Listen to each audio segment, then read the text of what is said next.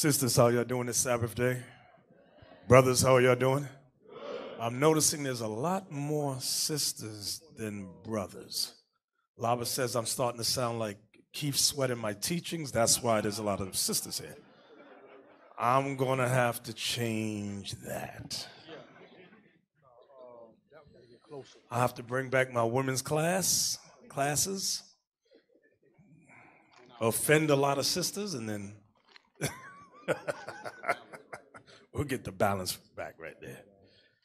We're gonna um, open up with Luke chapter four about good news for oppressed people. Do y'all need good news? That's right. I know I do. Good news for oppressed people. And it's an amazing thing how people associate the gospel or the good news for the dominant race on the earth that's oppressing and killing everyone. I'm like, well, what do they need good news for? They've made their own good news. The good news is only for oppressed people. It is not for countries and nations who, who uh, dominate, manipulate, and oppress world financial systems and nations and countries.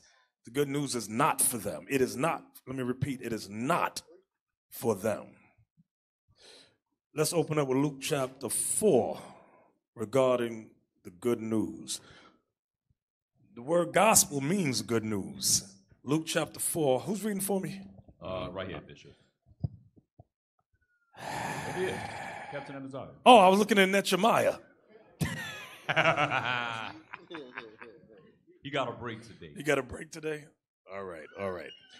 Uh, Luke chapter 4, and let's start at verse uh, 14.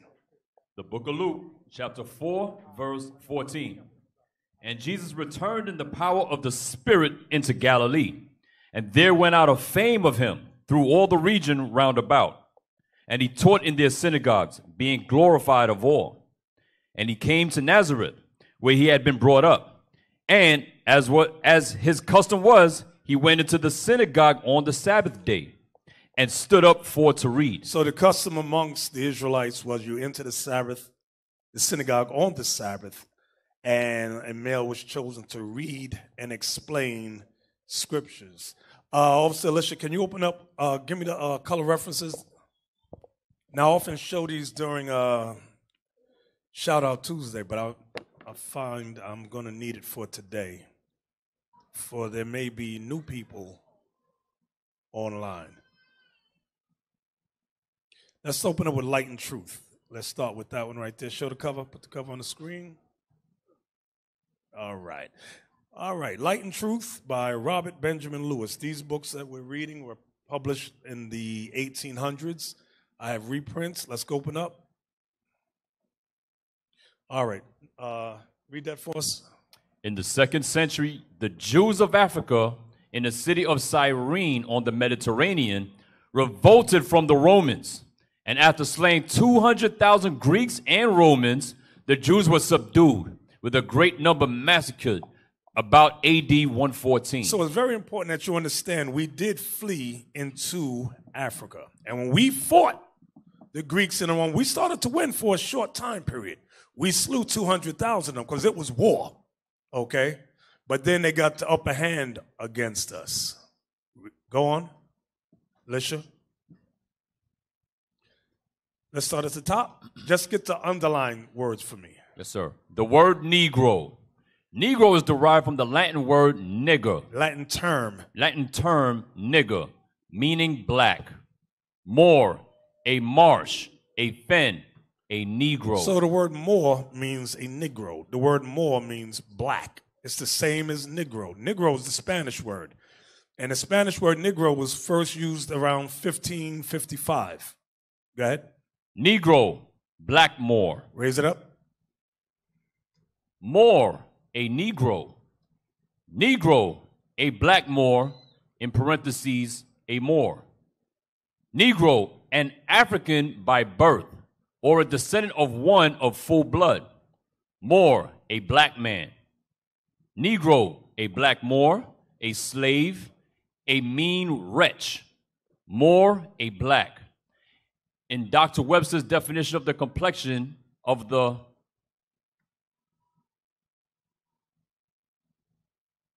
of the skin, he calls it the blood of Africa or their descendants as follows.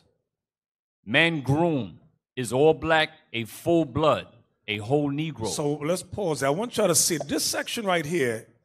They had, uh, I don't know if the word is the proper term is subgroups or subspecies, meaning depending on who your fathers were, whether it was you had a full uh, blooded black father and black mother, they called you a mangroom, which meant a whole Negro. Go ahead. Sambo is three quarters blood, quote, uh, parentheses, three quarters Negro. So a Sambo,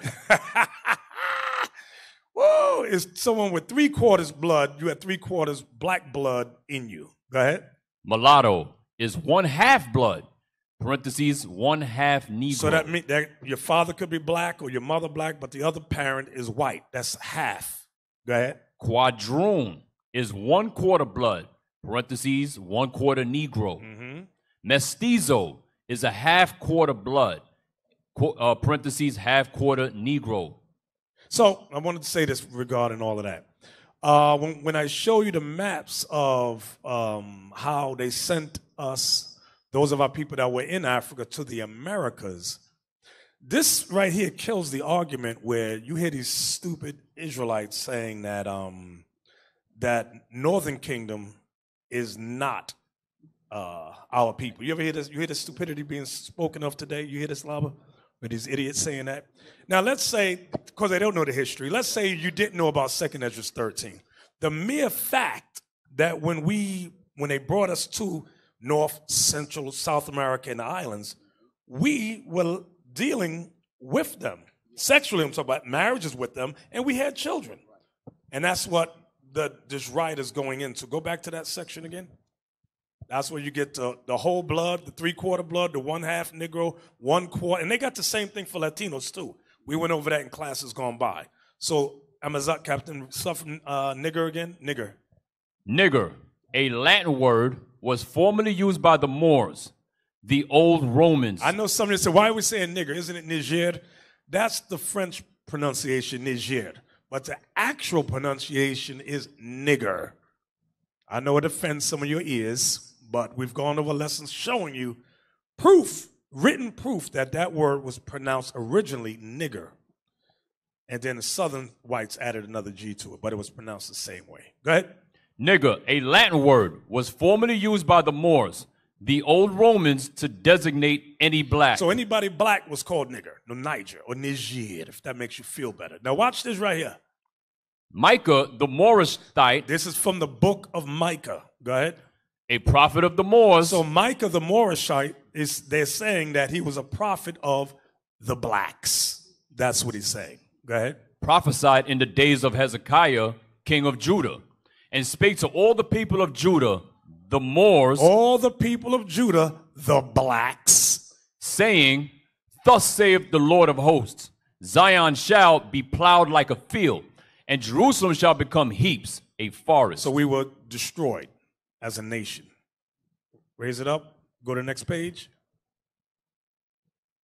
So this is the next book. This is a textbook of the origin and history, etc., of the colored people, originally published in 1841 by James W. C. Pennington. Go ahead. Read that. a stronger case is No, read, let's start from the top. Go up. Let me see, Alicia. Uh, start from number one. Number one, page 96. The Portuguese who planted themselves on the coast of Africa a few centuries ago have been succeeded by descendants blacker than the Africans.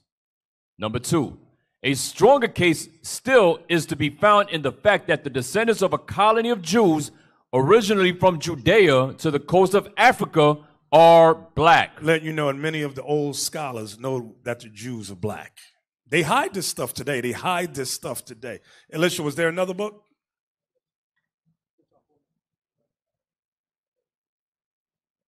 Yes, give me that next one. This one we've gone to several times. Click it. This is a treatise on physical geography by A. Barrington, published in 18, that's say 1850 at the bottom? 1850. Okay, go into it. We just want to highlight areas. Now, they talk about the case of the Jews being both black and white. The white Jews are the converts, those are the Khazars, also called the people of Herod. Read that. Thus, the Jews are a people who have ever, according to the prophecy, dwelt alone, without intermixing with the nations to this day. Now, this separate race, all descended from brown ancestors, All descended from brown ancestors. Go ahead. for Abraham, Isaac, and Jacob must have been as dark as Mar Yohanan, if not darker. So when you look up Mar Yohanan, he's very light. So or it was it's a painting that Esau put together. But notice it says if not darker. Of course he was darker. Okay? So it says uh, for Abraham, Isaac, and Jacob must have been as dark as Mar Yohanan. Now the first part, all descended from brown ancestors. Read on. exhibit every shade of color from the black Jews of Malabar. Next highlight. The Spanish Jew is always dark complexioned, and his hair is uniformly black. So the Jews that were in Spain is saying they were black, always dark complexioned. Go ahead. The various shades of color observable among the Negro or African race Now, they often, when many scholars use the word Negro or African to mean for anybody of darker complexion. Go ahead. tends to the same conclusion. Along the coast of Guinea, which is low, marshy, marshy, and hot, we find jet black complexions. And this is the very country from which African Negroes, No, American. excuse me, American Negroes have been derived. So notice how they are comparing the American Negroes with these Jews. So, like, my point is this all the old scholars know that the Jews are black. It's these new guys of today, after the time of emancipation, where they begin to say, you got to start doing better than that, hide this truth. Because remember, when these books were published, we weren't allowed to read and write, the majority of us. So they were not afraid of us getting or learning this information. So let's go back to Luke chapter 4. Thank you, Alicia. Luke chapter 4, and I believe you're in verse what? 16 or 17? Uh, verse 16. Okay. Verse 16. Luke chapter 4, verse 16. And he So I came. just I, the reason I wanted that first, when we're reading about Christ, you knew people get your mind right. Christ was not Caucasian; he was Negro, black. You got that with wool hair, thick lips, and a wide nose. Maybe not as wide as Malachi. oh. Go ahead. Luke chapter 4, verse 16. And he came to Nazareth, where he had been brought up. And as his custom was, he went into the synagogue on the Sabbath day and stood up for to read. And there was delivered unto him the book of the prophet Esaias. And when he had opened the book, he found the place where it was written. Now, Isaiah is Isaiah. Now, this is what he read from the book of Isaiah. Read. Verse 18 The Spirit of the Lord is upon me, because he hath anointed me to preach the gospel to the poor. He hath sent me to heal the brokenhearted, to preach deliverance to the captives, and recovering of sight to the blind, to set at liberty them that are bruised, to preach the acceptable year of the Lord. And he closed the book, and he gave it again to the minister and sat down. And the eyes of all them that were in the synagogue were fastened on him. Because he's supposed to explain it. Go ahead. And he began to say unto them, This day is this scripture fulfilled in your ears. So now he says, Today, this scripture has been fulfilled. Now, when you read it in its entirety, the, the whole congregation got mad and they tried to kill Messiah. Right. So, this is a scripture that references the term gospel, and it's one of my favorite scriptures. But I want to go through it slower, Amaziah, from verse 18 again. Yes, sir. Luke chapter 4, verse 18. The Spirit of the Lord is upon me. The Spirit of the Lord is upon me. Now, it's referring to Christ, but I want you to see that what we're reading also goes for us today. Because Christ has died and resurrected and gone into the heavens. So now his disciples have been left, left here. His students, the believers, have been left here.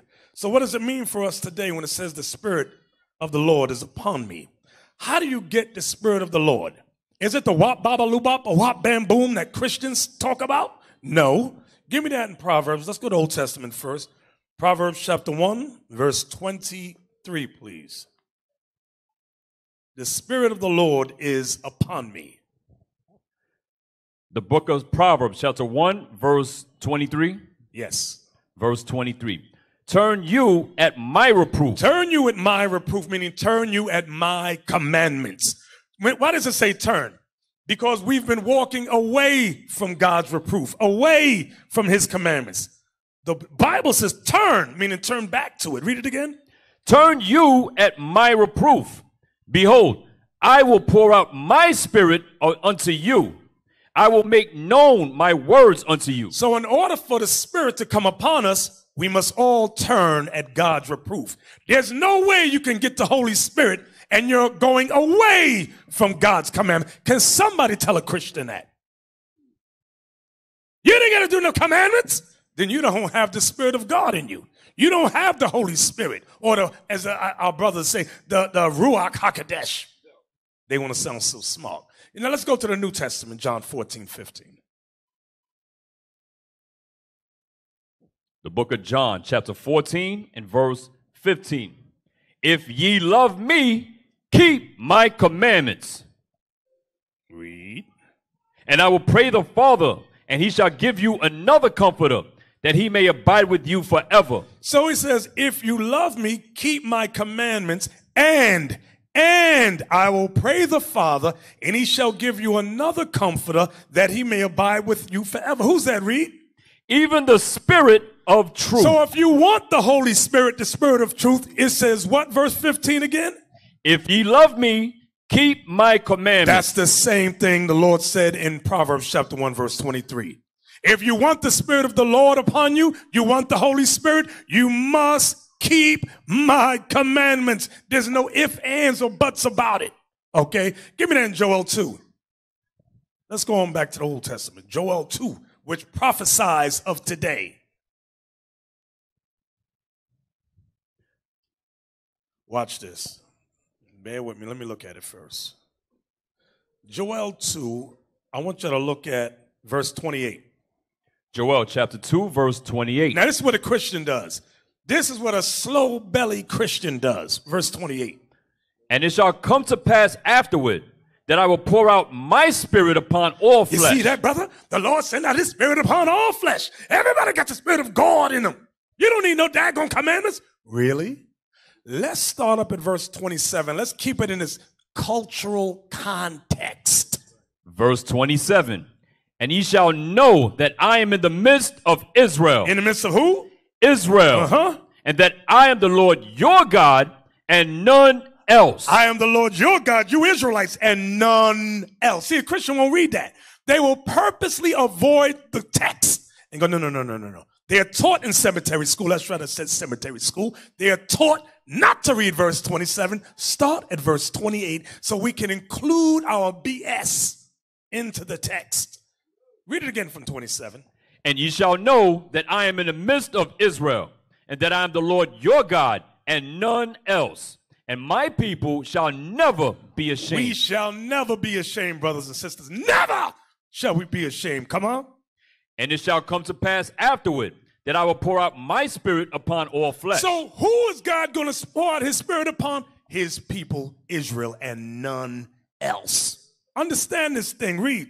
and your sons and your daughters And shall your sons and your daughters, not everybody's sons and everybody's daughters, your sons and your daughters shall what? shall prophesy. This is the power the Lord has given us. He said, you, I'm not giving you that power that Moses had in the last days. I'm not giving you the power, power that uh, Elijah had in the last days. And I'm not giving you the power that Christ and the disciples had. I'm giving y'all something a little easier for these last days. What? Read that again. and your sons and your daughters shall prophesy. Uh huh. your old men shall dream dreams. Mm-hmm. Your young men shall see visions. That's right. and also upon the servants and upon the handmaids in those days will I pour out my spirit. And remember the stipulation for getting the Spirit of the Lord. The Holy Spirit is what? Keep what, brothers and sisters? Thank you, thank you, thank you. Read. Verse 30. And I will shew wonders in the heavens and in the earth, Uh-huh. This, this is all the last days. Go ahead. blood and fire and pillars of smoke. War and destruction is coming. War and destruction is coming to the United States of America. War is coming to Babylon the Great. Go ahead. the sun shall be turned into darkness, and the moon into blood, before the great and the terrible day of the Lord come. Read. And it shall come to pass that whosoever shall call on the name of the Lord shall be delivered. Who says that? Whosoever. See, see, see. Here's a Christian grinning. See, it said whosoever. Whosoever shall call upon the name of the Lord, read, Shall be delivered. shall be delivered, read. For in Mount Zion For in Mount Zion and in Jerusalem and in Jerusalem, these are two names for the children of Israel. Go ahead. shall be deliverance. Deliverance ain't for all nations on the planet Earth. As Deliverance is only for the children of Israel that is scattered in all nations on the planet Earth. Go ahead. as the Lord hath said, and in the remnant whom the Lord shall call. And in the remnant whom the Lord shall call. Let's go back to Luke chapter 4, please. Luke chapter 4 again. One more again. the book of Luke, chapter 4, and verse 18 again. Mm-hmm. The Spirit of the Lord is upon me, because he hath anointed me to preach the gospel He, he hath anointed me to preach the gospel. Go ahead. To the poor. I want to start with that. Preach the gospel. Let's start there. Preach the gospel. Preach the gospel. Give me that in Romans 10, 14, 15, please. Romans 10, verse 14, 15. the book of He hath Romans. anointed me to preach the gospel. For the first thing, before you preach the gospel, the Spirit of the Lord must be upon you. In order to get the Spirit of the Lord, which is the Holy Spirit, even the Spirit of truth, we must be keeping God's commandments. That's the stipulation. Now, once the Spirit comes upon us, we are anointed to preach the gospel. Read that, Romans 10, 14, 15. the book of Romans, chapter 10, verse 14. How then shall they call on him, call on him in whom they have not believed? How can our people call on the Lord in whom they have not believed? Go ahead. And how shall they believe in him of whom they have not heard? And how can they believe in him of whom they have not heard? Our people have not heard they're the Israelites. Our people have not heard that the Israelites are a black and brown people, that Christ is their black savior. They've never heard that.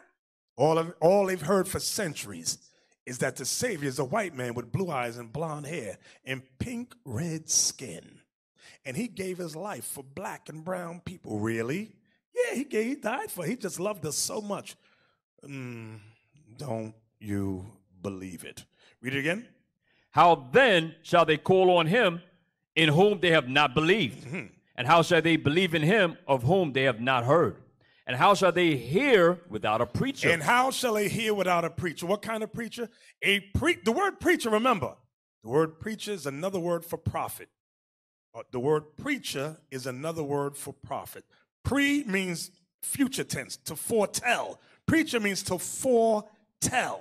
Foretell what? What's in the book? You're prophesying what's in the book.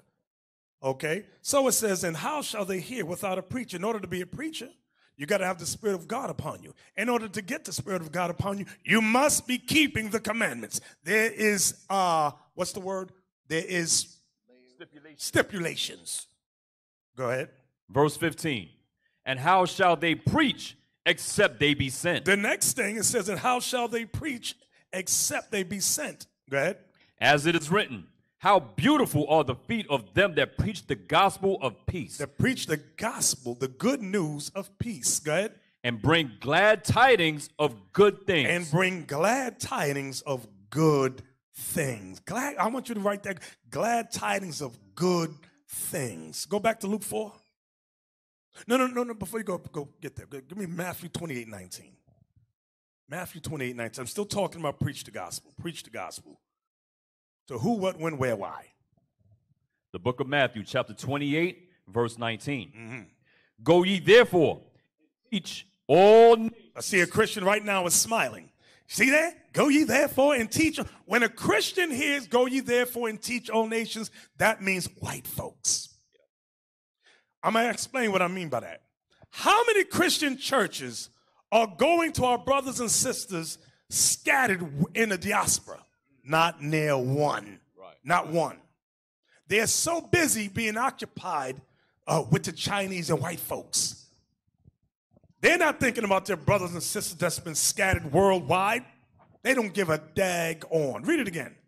Go ye therefore and teach all nations, baptizing them in the name of the Father and of the Son, and of the Holy Ghost. Read.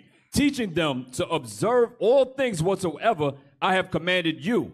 And lo, I am with you always, even unto the end of the worlds. Amen. Amen. So what does it mean? Go ye therefore and teach all nations. Give me the precept, Deuteronomy 4:27. Teach all nations. Christians smile. See, see, that's the Greek and that's the Yugoslavian, that's the Polish. No, no, no. It's not talking about that. Deuteronomy 4:27 about the Israelites. Listen good. Deuteronomy chapter 4, verse 27.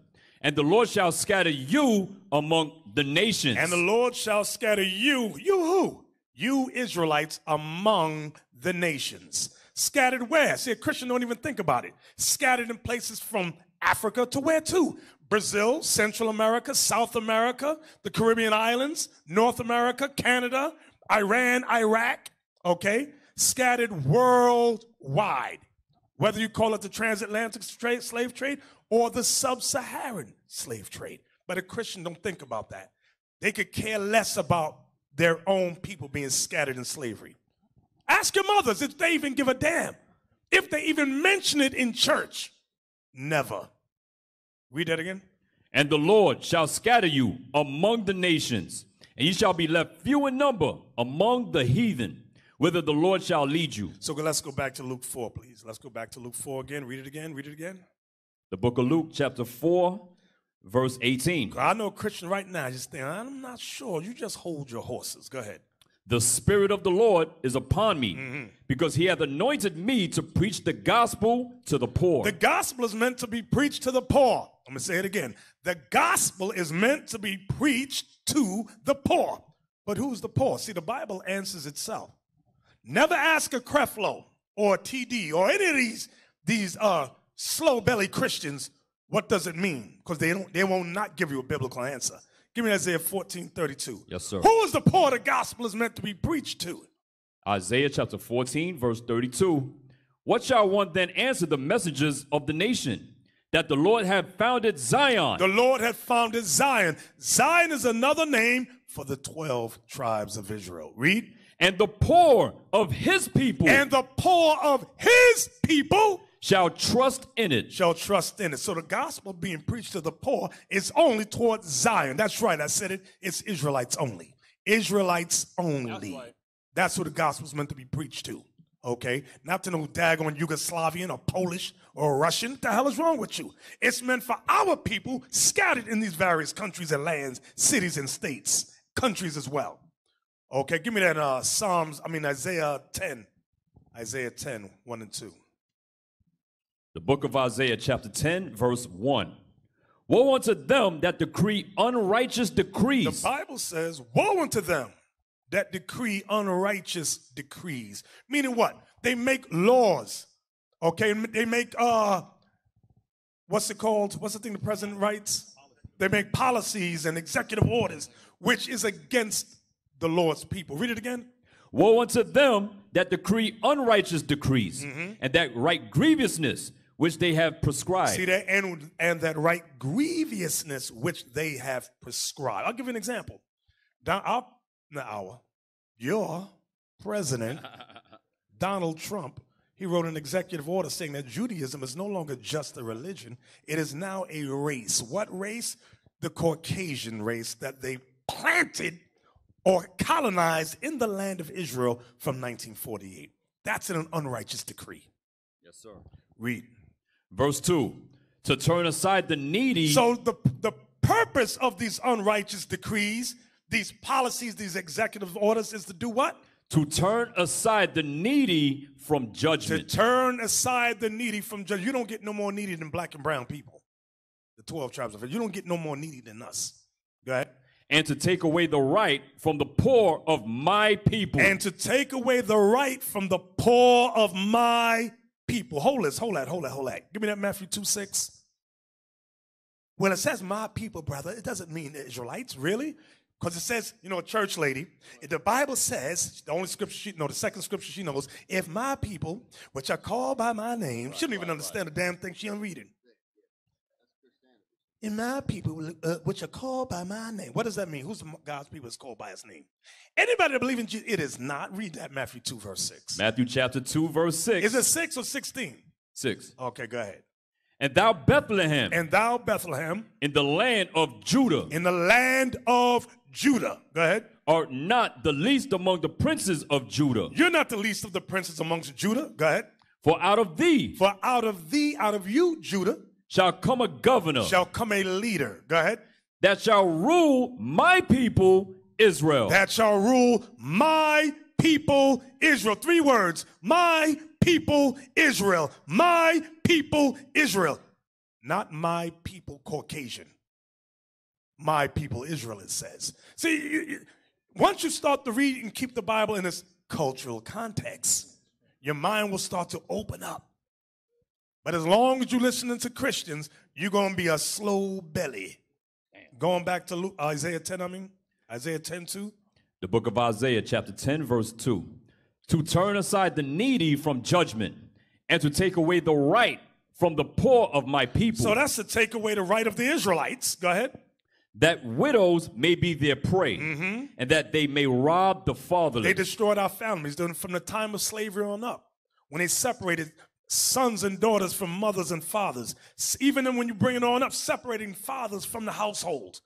That's what they did. That's what they did. Let's go on back now. Let's go on back to Luke 4. Nope. Mm, give, no, I'm sorry. I'm sorry. I don't want that yet. Give me Matthew 5 3.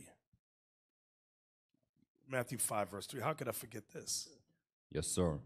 The book of Matthew, chapter 5 and verse 3. Mm-hmm. Blessed are the poor in spirit, for theirs is the kingdom of heaven. Now we understand who Christ is ref- referencing when he says, Blessed are the poor in spirit. The poor is who? The poor of my people, Israel. That's who the poor is. Blessed are the poor in spirit. To be poor in spirit means what? What does that mean? It means we've lost a lot. We're needy. Why are we needy? Because we've lost our culture, our heritage, our land, our language. We've lost our God given minds.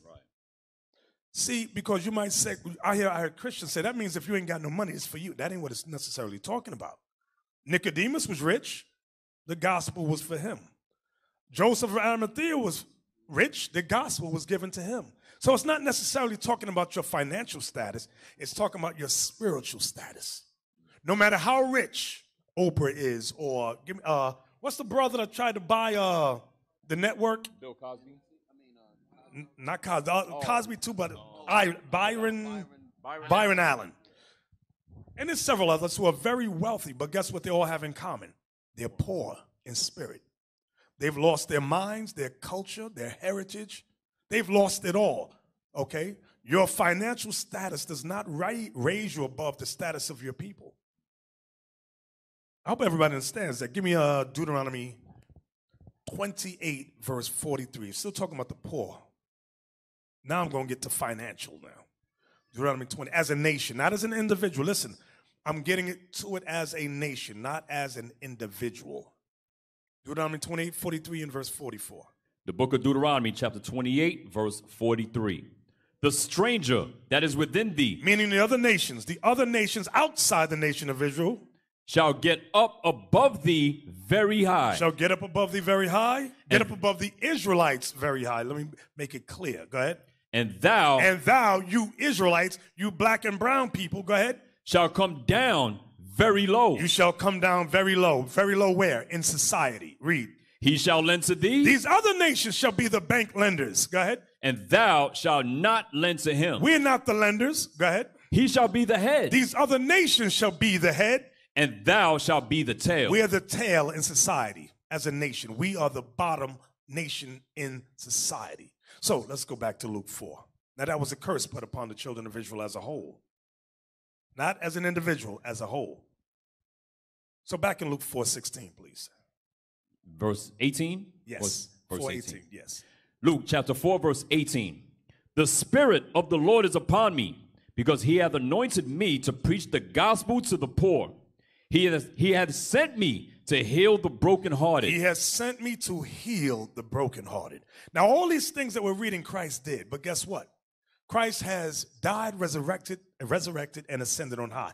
It's our job now. So it said, He has sent us to heal the brokenhearted. Give me Psalms 147. Who are the brokenhearted? What does that mean? Psalms 147. Let's start at verse 1. The book of Psalm, chapter 147, verse 1. Praise ye the Lord, for it is good to sing praises unto our God, for it is pleasant, and praise is comely. I heard a brother say it's wicked to sing praises unto the Lord. He goes, Look at these wicked Israelites on God's high holy days, singing and dancing. They're evil. And you have, and you get, they're getting thumbs up from these idiots, these bum, bum, bumbleites. Read it again. Praise ye the Lord, for it is good to sing praises unto our God, That's right. Come on.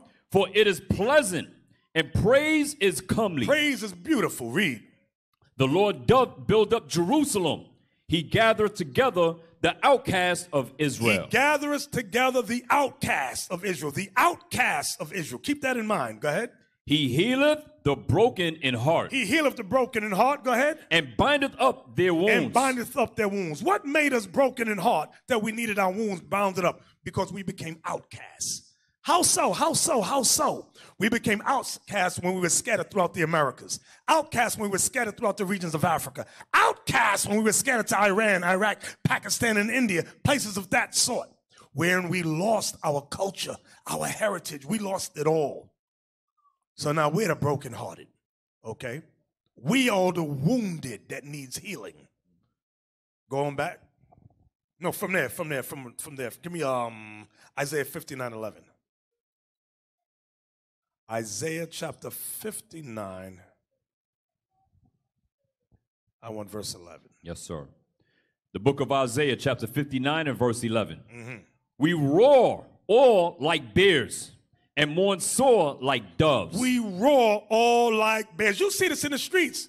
When our, our sisters like Sandra Bland or Breonna Taylor are murdered, shot down, hung, murdered. Tamir Rice. We roar like bears. You hear the brothers in the street roaring like bears. That's a form of weeping. That's a form of crying. And then it says, and mourn sore like doves. Those are the sisters who mourn sore like doves, crying for the death of our sons and daughters, our brothers and sisters, and mothers and fathers. Go ahead. we look for judgment, We look for judgment. No justice, no peace. We look for judgment. Go ahead. but there is none. But there is none. There is none. There is none. Even when you get a black attorney, like Cam- what's his name? Cameroon? Ben Crump. Cameron. Ben Crump. Da- no, not Ben Crump. He's a lawyer. Daniel Cameron. Oh, oh, okay, who goes up and manipulates the jury. Okay, so that there's no true justice. So we roar all like bears. We mourn sore like doves. We look for judgment, but there is none. Go ahead. For salvation, but it is far off from us. We look even for salvation, but it's far off from us. This is why a lot of our brothers and sisters say that they got their mindset there's no God. How could there be a God and we suffer day after day, week after week, month after month, year after year? This is why a lot of our people are brokenhearted. Then you go to the Christian open up the Bible. Ah, shut the hell up. That old Jesus stuff. Where's the justice from Jesus? Where's the judgment? Christians ain't got no answers. That's why our people need the gospel. That's good news. We have the good news. Don't worry, bro. Don't worry, sis. Judgment is coming. Justice is coming. That's right. Yes, of course.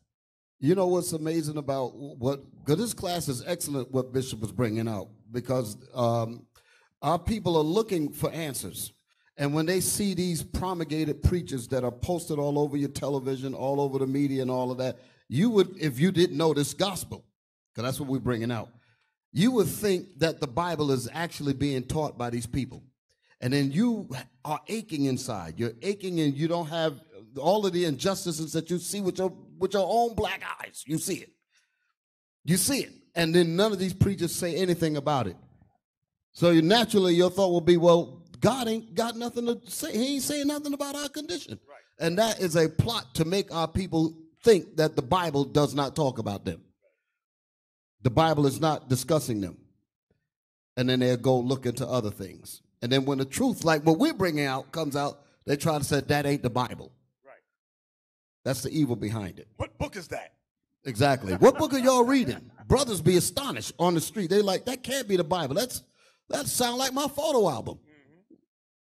Go ahead, Bishop. Exactly. And listen, I want you to find me the video on uh, from uh, Birth of a Nation. I just love this one scene where uh, Nat Turner is ordered to try to get black people in that Christian state of mind to not think about oppression.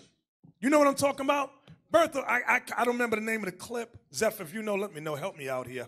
Whoever knows, please, please just help us. It's one, it's, it's one scene. It's like maybe two minutes long. Yeah, that's it right there. I want now, now I'm what we're about to look at right here. This is the gospel to the brokenhearted. Watch this. I want y'all to pay close attention. This is what, brother, after Sandra Bland was murdered, after Breonna Taylor was murdered, when our people hear the gospel, the, the truth of the Bible, watch the reaction. Watch this.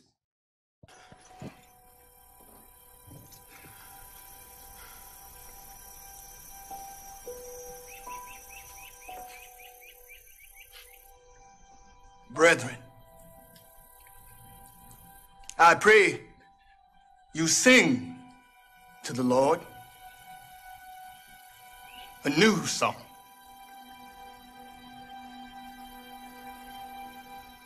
Sing praise in the assembly of the righteous. Let the saints be joyful in glory. Let them sing aloud on their beds. Let the high praise of God be on the mouths of the saints and a two-edged sword in their hand to execute vengeance on the demonic nations and punishments on those peoples, to bind their kings with chains and their nobles with fetters of iron, to execute on them this written judgment. This honor have all his saints. Praise the Lord. Praise the Lord. Sing to him a new song.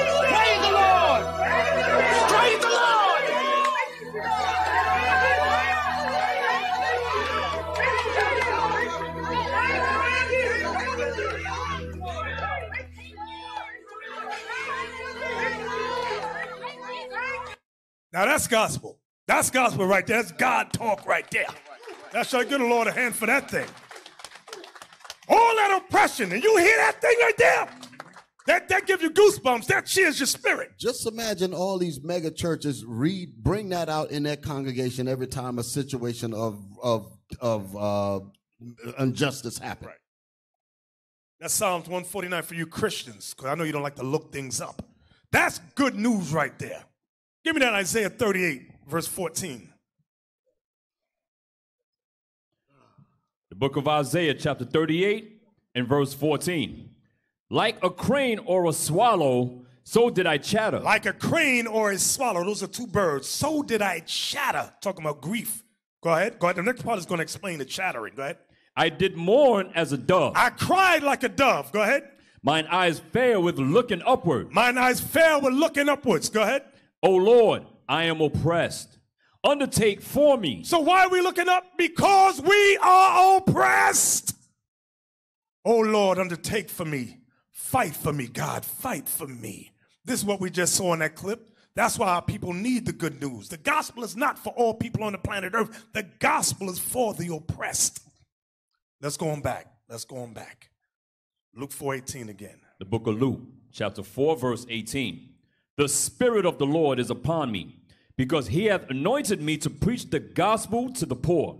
He hath sent me to heal the brokenhearted, to preach deliverance of the, to the captives, To preach deliverance to the captives. To preach deliverance to the captives. Are all nations on the planet Earth in captivity? How stupid can a Christian be? The gospel is meant to be preached to the captives. Captivity. Talking about, give me another word for captivity slavery. Let's make it easy. Let's make it easy. Watch this. Give me Deuteronomy 28 41. To preach deliverance to the captives. the book of Deuteronomy, chapter 28, verse 41. Thou shalt beget sons and daughters, but thou shalt not enjoy them, Why? for they shall go into captivity. For they shall go into captivity. That means slavery.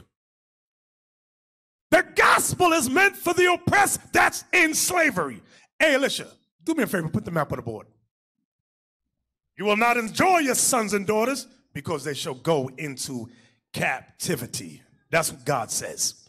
This is God talk. You ain't going to understand. If you ain't got the Spirit of God on you, you ain't going to understand the damn thing we're talking about. Stu, put it on the main screen. Can we see the, uh, the, the key, the, the code key on the far left? Can you zoom in on that on the far left? That's as far as you could go in? Okay. Well, the, the green lines is the European captivity.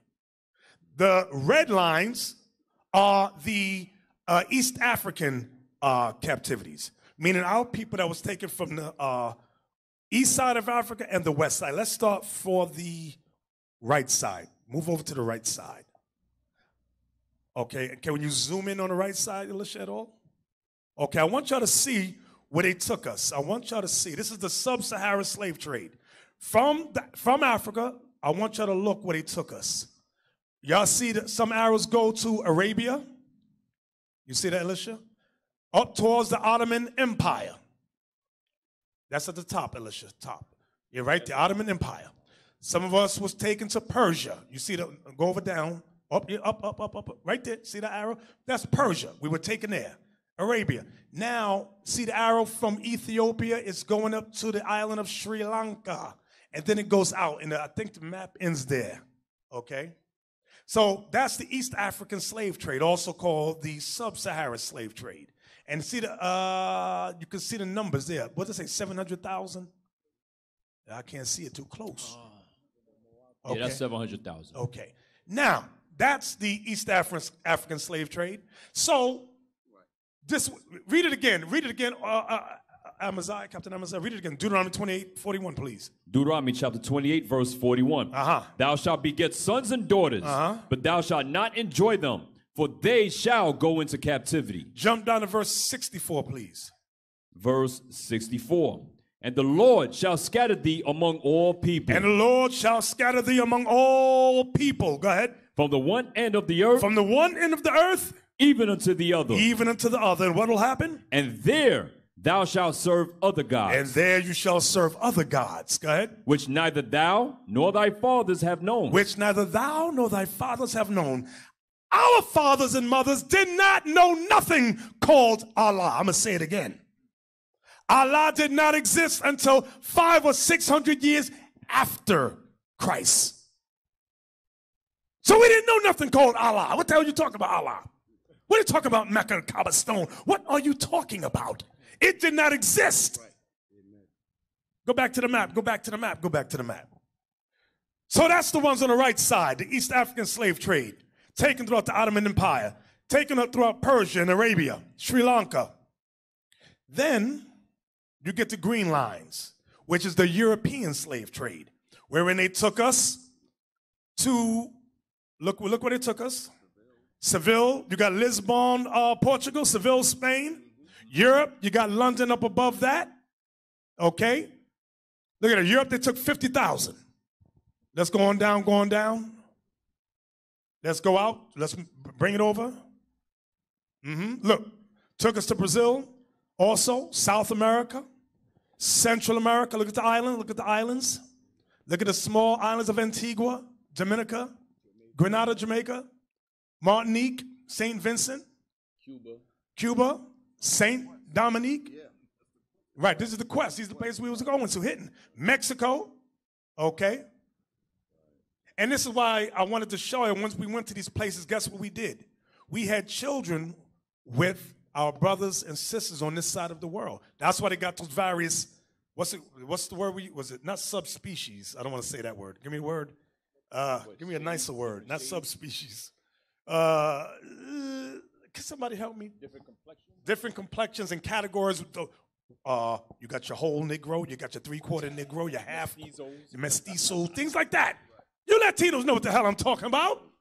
I know black people are confused. What are you talking about? Uh, go up. Go up. Okay, North America, they took us to. Now, this map doesn't talk about Canada, but they took us up there in Canada too. Okay. So read that again. Thank you. Thank you, Alicia. Read that again. Deuteronomy 28, verse 41. Mm-hmm.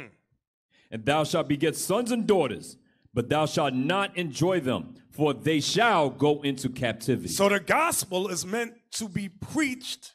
What it say? To preach deliverance to the captives. From there, give me Isaiah 5, verse 13. Isaiah 5, verse 13. And the gospel is for everybody, brother. No, no, no. the book of Isaiah, chapter 5, verse 13.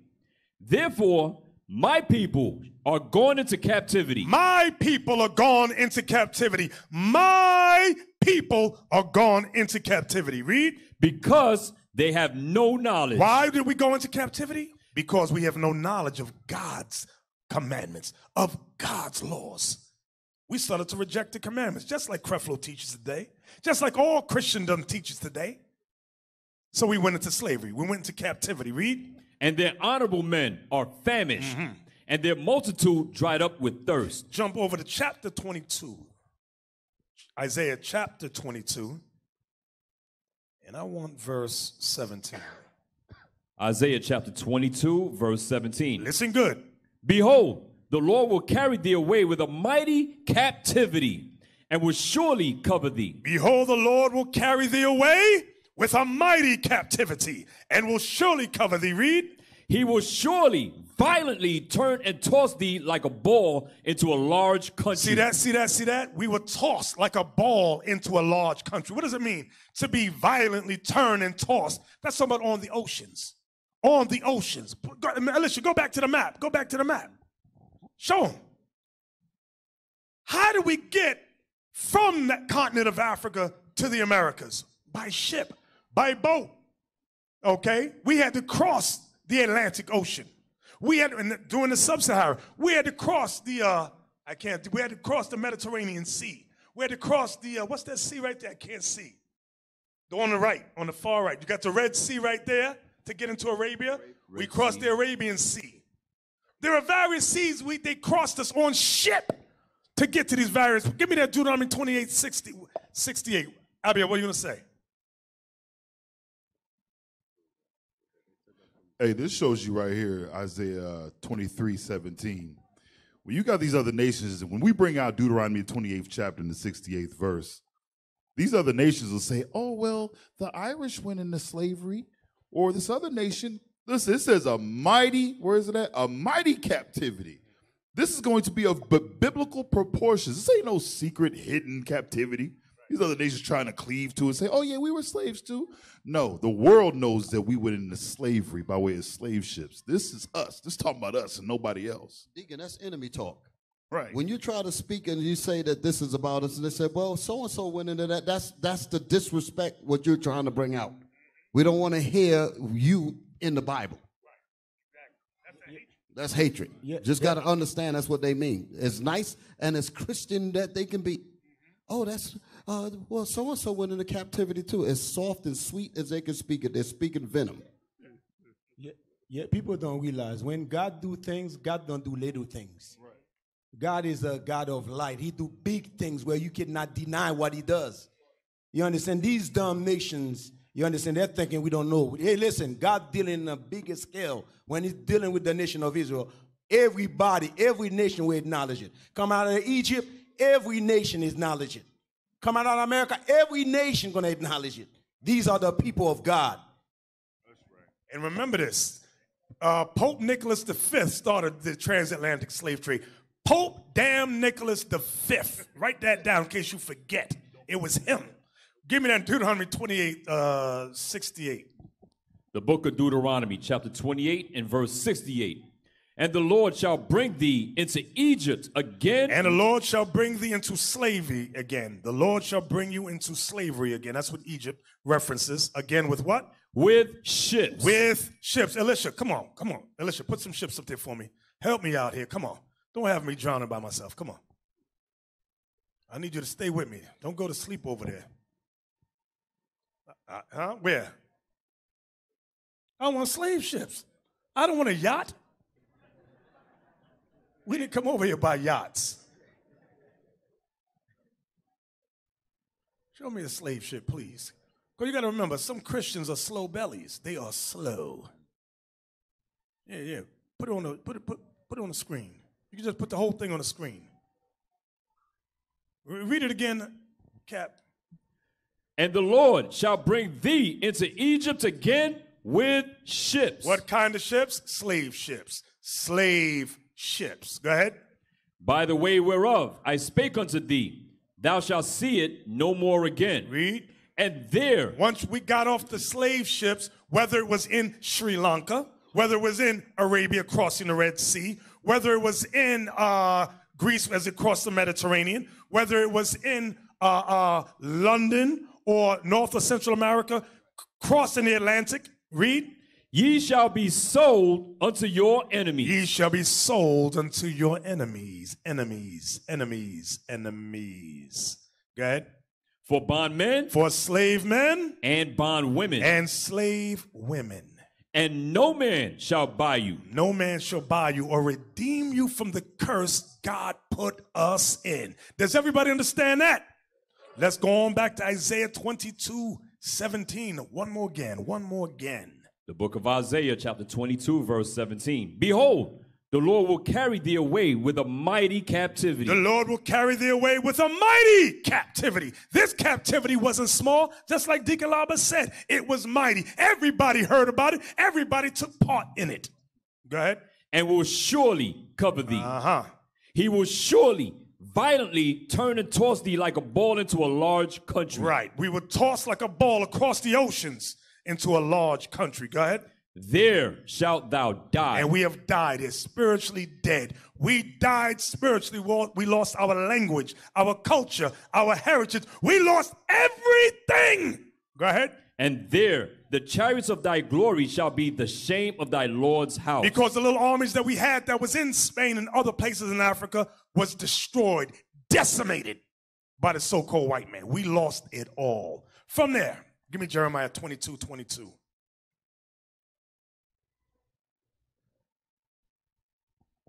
The book of Jeremiah, chapter 22, verse 22. The wind shall eat up all thy pastors, and thy lovers shall go into captivity. Read read it again. The wind shall eat up all thy pastors, and thy lovers shall go into captivity. all of our, including see, a pastor, a pastor's so stupid. He don't, re- the Negro don't realize he's in captivity to this day.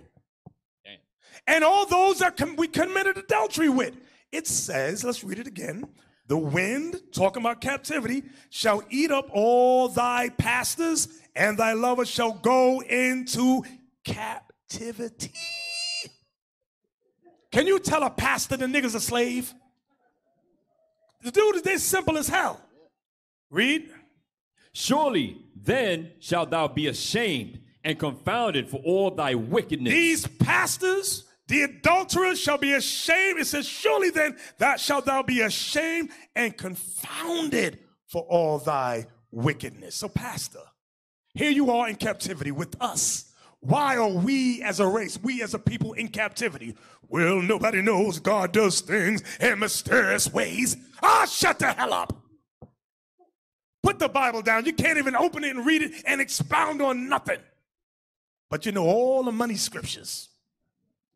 Give me a Jeremiah 50 and verse 33.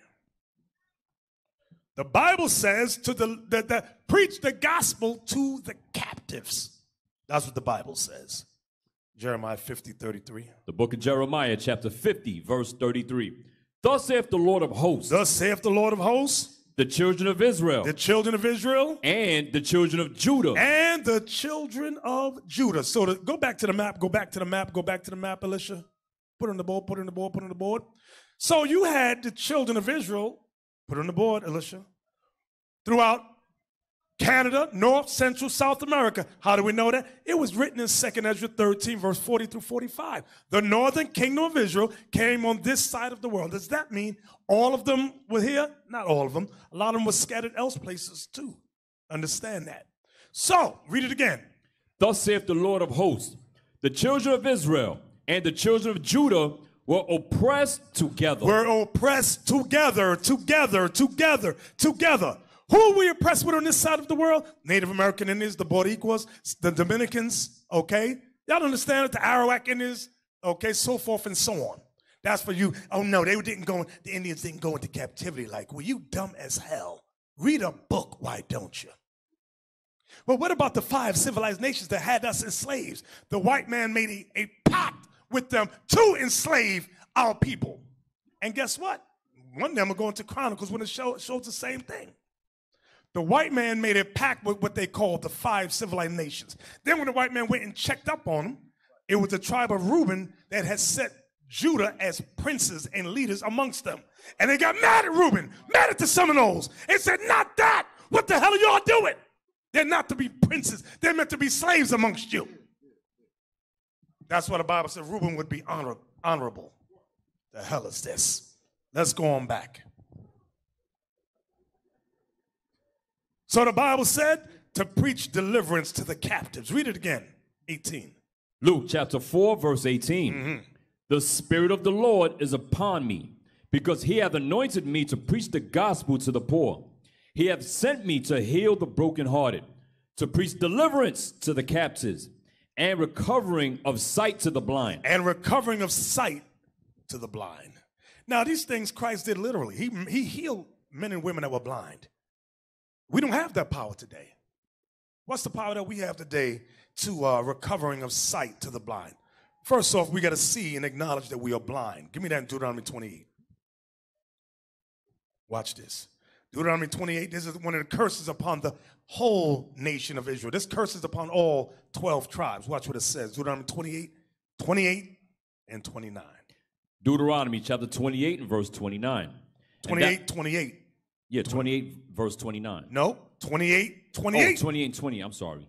The Lord shall smite thee with madness and blindness and astonishment of heart. The Lord will smite thee with blindness, madness, and with blindness, and astonishment of heart. Meaning what? It's talking about our minds, psychological defects. Okay, that's what I mean by madness. Blindness meaning we cannot see truth anymore. We can't see nothing God has put forth for us. We would be stricken with blindness. Read. Verse 29.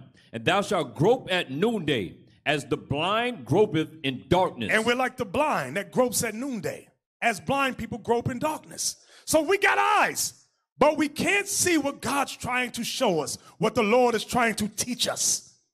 We're like blind people. The sun is right there, the word of God is there, but we can't see it. So we're like blind people, unable to comprehend, unable to understand. The Bible says you were going to slavery on ships. Well, I don't understand. Everybody went into slavery. The Bible says Christ would have hair like wool, his skin like burned in the furnace. No, Jesus is white. The sun, the Bible's right there. You're looking at it. You're reading it for yourself, and you can't see it. That's what you're Christians for you. Cannot see it. Read. And thou shalt not prosper in thy ways. and thou shalt not prosper in thy ways. Give me Isaiah 59 10. Right, we don't prosper. Go ahead, expound on it. Go ahead. Thou shalt not prosper in thy ways. The preacher's supposed to be reading this and, and illuminating that scripture. If you look at the prison population mm-hmm. in this country, in America alone, you have more than 2 million people in prison. Nearly half of the population is black men. And we only supposed to represent like six to seven percent of the whole population in, in America, black men. But nearly half of the black of nearly half of the population in prison is black men. So nearly a million of our men is locked up in prison. And you telling me the preacher don't see that? Mm-hmm. His slimy wicked behind. You mean to tell me he don't see that? None of those no good preachers have even said anything about it. You remember he said, Thou shalt not prosper in our way. Let me show how blind we are. In the black community, right? Where their wealth is, right? So why the other nation? We cannot see the wealth. The other nation will come, establish store, put stores in it, buying these, these houses. But us, we live there, the wealth is right there. Why don't we just stop buying it, fixing it up? Because you blind. You blind. You cannot see what's good for you. These curses hit each one of us in many ways, brothers and sisters. Go ahead. If half of our men, if, if half the prison population, nearly half of it is filled up with our black men, what kind of hole does that leave in the families? What kind of hole does that leave in the communities? And think about all of the problems that come as a result of the absence of black men drugs, homosexuals, uh, uh, uh, abuse in the household. Don't learn how, not learn how to be uh, reared up by men to teach them how to be successful fathers and husbands. They don't learn any of that. They be, they automatically become criminalized as drug dealers, as stick-up kids and stuff like that. And these preachers have not went into the gaps to deal with any of that stuff. Don't speak about that. Isaiah 59. The book to of Isaiah, chapter 59, verse 10, correct? No, let's start at verse 9. This is a precept for what we read in Deuteronomy 28, verse 28 and 29. Okay? The, mm-hmm. the book of Isaiah, chapter 59, verse 9. Therefore is judgment far from us. Therefore is judgment far from us. We want true judgment. We want justice as a people. We want it. When we look at the Philando Castiles of the world, okay? And the atrocities are still, even when our people go to the land of Israel, I'm gonna start again, I'm moving to Israel, they get the hell kicked out of them, spit on. Y'all seen the clips, we showed you. It don't matter where we go. Our people, I'm gonna go to Libya, then end up as slaves. So therefore is judgment far from us. Go ahead. Neither does justice overtake us. Neither does justice overtake us. Go ahead. We wait for light, We wait for light, but behold obscurity. but behold confusion. We want to see the light come forth in various cases, but what ends up coming? Obscurity. We're like, what the hell? How the hell did the, the white man get off? He shot, he, you see it on video, we on video. They broke his neck. And he still gets off. We wait for light, but behold, obscurity. Go ahead. For brightness, but we walk in darkness. We wait for brightness, but we walk in darkness. Go ahead. We grope for the wall like the blind. We grope for the wall like the blind. We're like blind people looking for uh, uh, what's the when you're trying to hold on? Uh, support, stability, support, and there's none. Read it again. we grope for the wall like the blind, and we grope as if we had no eyes. We grope as if, as if we have no eyes. We got eyes. We see what we see, but we don't understand it. So that's what it means. We we grope as if we had no eyes. Go ahead. we stumble at noonday as in the night. We stumble at noonday as in the night. In noonday, the gospel's coming out. We're trying to explain to you that we went into slavery for our sins as a race, as a people. And we're like, I don't understand. I'm confused. No, no, that, that can't be right. Jesus is all love, love, love, love, love. But your brother, uh, Sandra Bland, just got murdered. Yeah, love, Jesus love. Don't even talk about it, brother. Tamir Rice, Philando Castile. Look, look. Mike Brown, look what's going on. I'm confused. I don't understand. Jesus, Jesus, Jesus. Just say Jesus, make your teeth white seven times. Jesus, Jesus, Jesus, Jesus, Jesus, Jesus, Jesus, Jesus. The hell is this? Go ahead. We are in desolate places as dead men. We are in desolate places as dead men, spiritually dead. Okay. From there, give me Isaiah 29, verse 18. Isaiah 29, verse 18. The book of Isaiah, chapter 29, and verse 18. And in that day shall the deaf hear the words of the book, See that? See that? That's what I'm talking about. It says, and in that day shall the deaf hear the words of the book. We're the deaf. Go ahead. And the eyes of the blind shall see out of obscurity. That's you men and women now. Your eyes have been opened. The recovering of sight to the blind is now. Now you can see what the Lord has been trying to show us. I see what the Bible is saying. I see with my own two eyes now. Go ahead. and out of darkness. The Read, meek, that, read that again. Read that. God just lost something. Go ahead. and in that day shall the deaf hear the words of the book, Mm-hmm. and the eyes of the blind shall see out of obscurity and out of darkness. We're seeing out of obscurity and darkness. Now we understand what the Bible is saying. The pieces of the puzzle are falling in place. I understand now. This is why this and that happened. This is why this continues to happen. Give me that uh, Isaiah 42 16. The book of Isaiah, chapter 42, and verse 16. And I will bring the blind by a way that they knew not. The Lord says, I will bring the blind by a way they knew not. We're the blind. The Lord said, I'm going to bring you by a way that you never knew before. Go ahead. I will lead them in paths that they have not known. I'm going to lead you in paths that you have not known, which paths is God's law in Christ. Go ahead. I will make darkness light before them. The Lord said, I'm going to make the darkness of this world light before you. We're going to understand. We're going to see and comprehend. Go ahead. And crooked things straight. And the crooked things of this world, the things that are out of order, that make no damn sense, how in the hell did they get off? The Lord, what he's saying in essence, I'm going to bring justice, true justice to this earth. That's what it means when they say, I will make, uh, where's the part about the crooked? Where's that at? Read that part again. And crooked things straight. Straight. Go ahead. Right.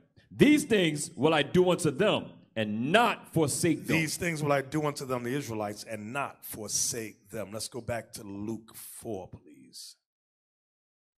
Verse 18 again, I believe it is. Yes, sir.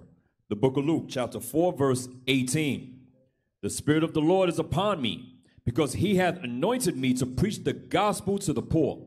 He hath sent me to heal the brokenhearted, to preach deliverance to the captives, and recovering of sight to the blind, to set at liberty them that are bruised. To set at liberty them that are blind. To set at liberty. Give me that in Deuteronomy 28 33. Deuteronomy 28 33. To set at liberty them that are bruised. Deuteronomy chapter 28, verse 33. We need liberty because while because while we're incarcerated in this prison house, we're constantly being bruised. Read that. Deuteronomy chapter 28, verse 33. The fruit of thy land and all thy labors shall a nation which thou knowest not eat up. Mm-hmm. And thou shalt be only oppressed and crushed always. And thou shalt be only oppressed and crushed and crushed always. We're reading crushed there because that's a part of us being bruised. We're reading crushed there because that's a part of us being bruised. Okay, give me Isaiah 1 and 1. Let me look at it. Let me look at it. Let me look. Let me see. Isaiah chapter 1. Yeah, start at verse 1. The book of Isaiah chapter 1, verse 1. We're reading this to set at liberty them that are bruised. Right? The vision of Isaiah, the son of Amoz, which he saw concerning Judah and Jerusalem in the days of Uzziah, Jotham, Ahaz, and Hezekiah, kings of Judah. Mm-hmm. Hear, O heavens, and give ear, O earth. For the Lord has spoken. I have nourished and brought up children, and they have rebelled against me. So the Lord nourished us. He meaning what? He did what? He nourished us with his laws, his statutes, his commandments. And what did we do as a people? Rebelled. Read. The ox knoweth his owner, So now he says the ox, a dumb ox knows his owner. Go ahead. and the ass his master's crib. And an ass, a jackass knows his master's crib. Go ahead. But Israel doth not know. My people doth not consider. So we're not as smart as two of the dumbest animals on earth, God is saying. The Israelites don't know their owner. We don't know that we are the sons and daughters of Abraham, Isaac, and Jacob. We're the sons and daughters of God Almighty, the God of Abraham, Isaac, and Jacob. We don't know that. We don't know our master's crib, which is Jerusalem, the city of God. We don't know that's our motherland. We, no, no, no, no, no, no. That's not the motherland. It's wherever you were born. No, it's Jerusalem. That's the mother of us all. We don't know that. Read. And in essence, verse 3 is saying, you don't even know your identity. That's what it's saying. You don't know your nationality. You don't know your race as a people. Right. Who else fits that? Only us. Only us. Go ahead. Verse 4 A sinful nation, Ah, sinful nation. Go ahead. a people laden with iniquity, We are a people laden with sin, breaking of God's laws. Read. A seed of evildoers. We are a seed of evildoer. I know some of us want to think we're all righteous. We didn't come to the shores of America because we were righteous. We weren't scattered throughout North Central South America, Sri Lanka, Iran, Iraq because we were righteous. It's because we were laden with iniquity, laden with sin, rebellion against our God. Read. Children that are corrupted, We are children that are corrupters. Go ahead. they have forsaken the Lord. We have forsaken the Lord. They have provoked the Holy One of Israel. And if you, in case you didn't know who he was talking about, the Holy One of Israel. Israel. Israel. Read. We are Israel. Go ahead. They have provoked the Holy One of Israel unto anger. They They are gone away backward. We've gone away as a people backward away from the Lord of heaven and earth. Read. Why should ye be stricken anymore? Why should ye be stricken anymore? This is getting into our, us being bruised. Remember, Deuteronomy said we would be crushed and oppressed always. It said to set at liberty them that are bruised. So it says what? Why should ye be stricken anymore? Go ahead. Ye will revolt more and more. Mm-hmm. The whole head is sick, The whole head is sick. and the whole heart faint. Go ahead. From the sole of the foot even unto the head, So the entire 12 tribes of Israel, from Judah down to Issachar, that's the whole 12 tribes, from the head to the feet. Go ahead. there is no soundness There is no soundness, in it, but wounds and bruises. but wounds, and what's that word? bruises. Bruises. Bruises. Why did we get those bruises? Because we revolted against the Lord of heaven and earth. We lost our identity. That's what verse 3 is saying. We lost our identity. We've forgotten who our God is. We've forgotten our motherland. We've forgotten it all. We've lost our culture. So as a result, it said, Why should you be stricken anymore? How did we get stricken? When we went into slavery, captivity, and were oppressed. Will ye will revolt more and more. The whole head is sick, the whole heart is faint. From the sole of the foot even unto the head, there is no soundness in it, but wounds and bruises. Go ahead. and putrefying sores. Meaning pus sores. So we're just like we're a sick. We are Lazarus. That's what this verse is saying. When the parable about Lazarus at the foot of the rich man and the dogs licked his sores, this is what this is talking. I'm gonna read verse six again for us. From the sole of the foot even unto the head, there is no soundness in it, but wounds and bruises and putrefying sores. They have not been closed, neither bound up, neither mollified with ointment. See that we have not been healed. That's what it's saying. We are sick people from the head to the toe. Okay. Going back. Luke chapter 4, verse 18 again. The Spirit of the Lord is upon me, because he hath anointed me to preach the gospel to the poor. He hath sent me to heal the brokenhearted, to preach deliverance to the captives, and recovering of sight to the blind, to set at liberty them that are bruised, to preach the acceptable year of the Lord. To preach the acceptable year of the Lord. Give me that in Galatians 4 and 4. To preach the acceptable year of the Lord. What was that talking about? What was the acceptable year of the Lord? Galatians chapter 4, verse 4. Mm-hmm. But when the fullness of the time was come, It's going into the acceptable year of the Lord when the fullness of time was come. God sent forth his son, God sent forth his son, made of a woman, made of a woman. made under the law. Christ was made under the law. Guess what? There is no law regarding immaculate conception. I'm going to say it again. There is no law regarding immaculate conception. So wipe the mind clean. Let's stop being slow bellies listening to these dumb, evil Christians. Christ was made under the law. Under the law, it stipulates when the man lays down with the woman having the seed of copulation, and when she brings forth a male child, he must be circumcised the eighth day. And then a sacrifice must be given. That's what it means he was made under the law. There's no law regarding immaculate conception. I hope you Christians out there in Wonderland can understand that thing. Read it again. Galatians 4 and 4. But when the fullness of the time was come, God sent forth his son, made of a woman, made under the law, Read. To redeem them that were under the law. To redeem them that were under the law. That was not all nations, brothers and sisters. The law was given to Moses, given to the 12 tribes of Israel. So Christ came at the acceptable year of the Lord to do what? To redeem them that were under the law. Give me that, give me that, give me that. Psalm, is it Psalm 78 5? Give me that. In case right now, I know somebody's online. Wait, wait, where does it say only Israel was had the law? We're going to give you some easy scriptures here. The book of Psalms, chapter 78, verse 5.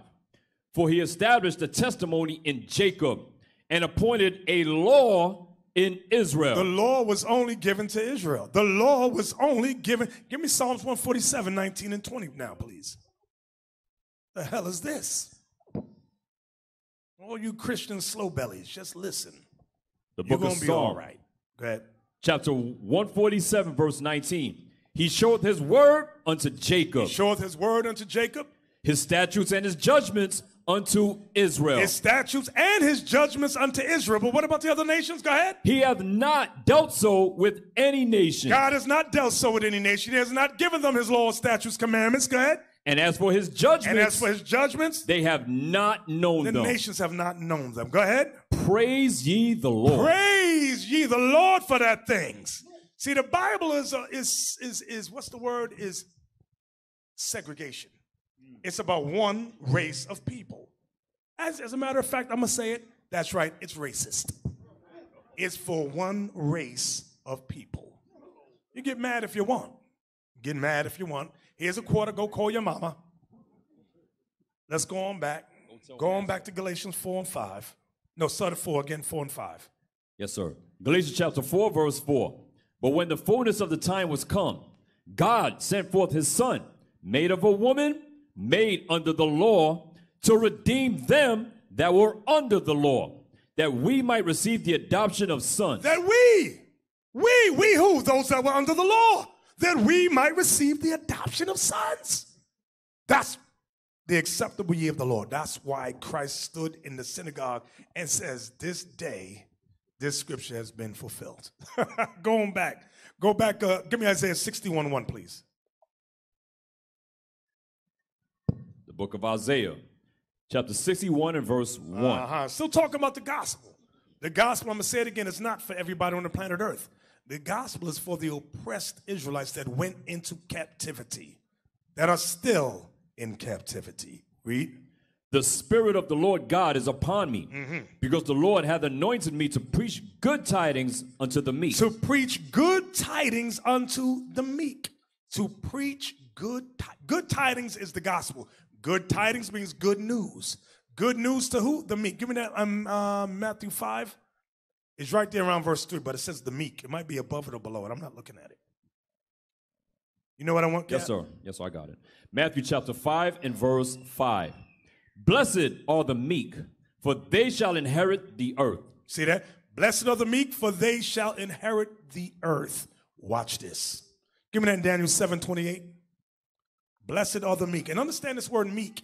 It doesn't mean to be shrew like a mouse. It means, remember, it says Moses was the meekest man in Israel.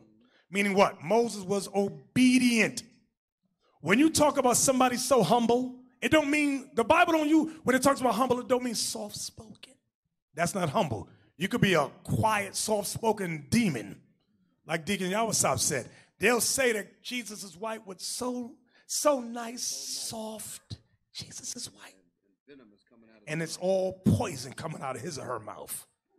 Humble and meekness has nothing to do with the tone of your voice. Humble and meekness refers to your obedience to God's law.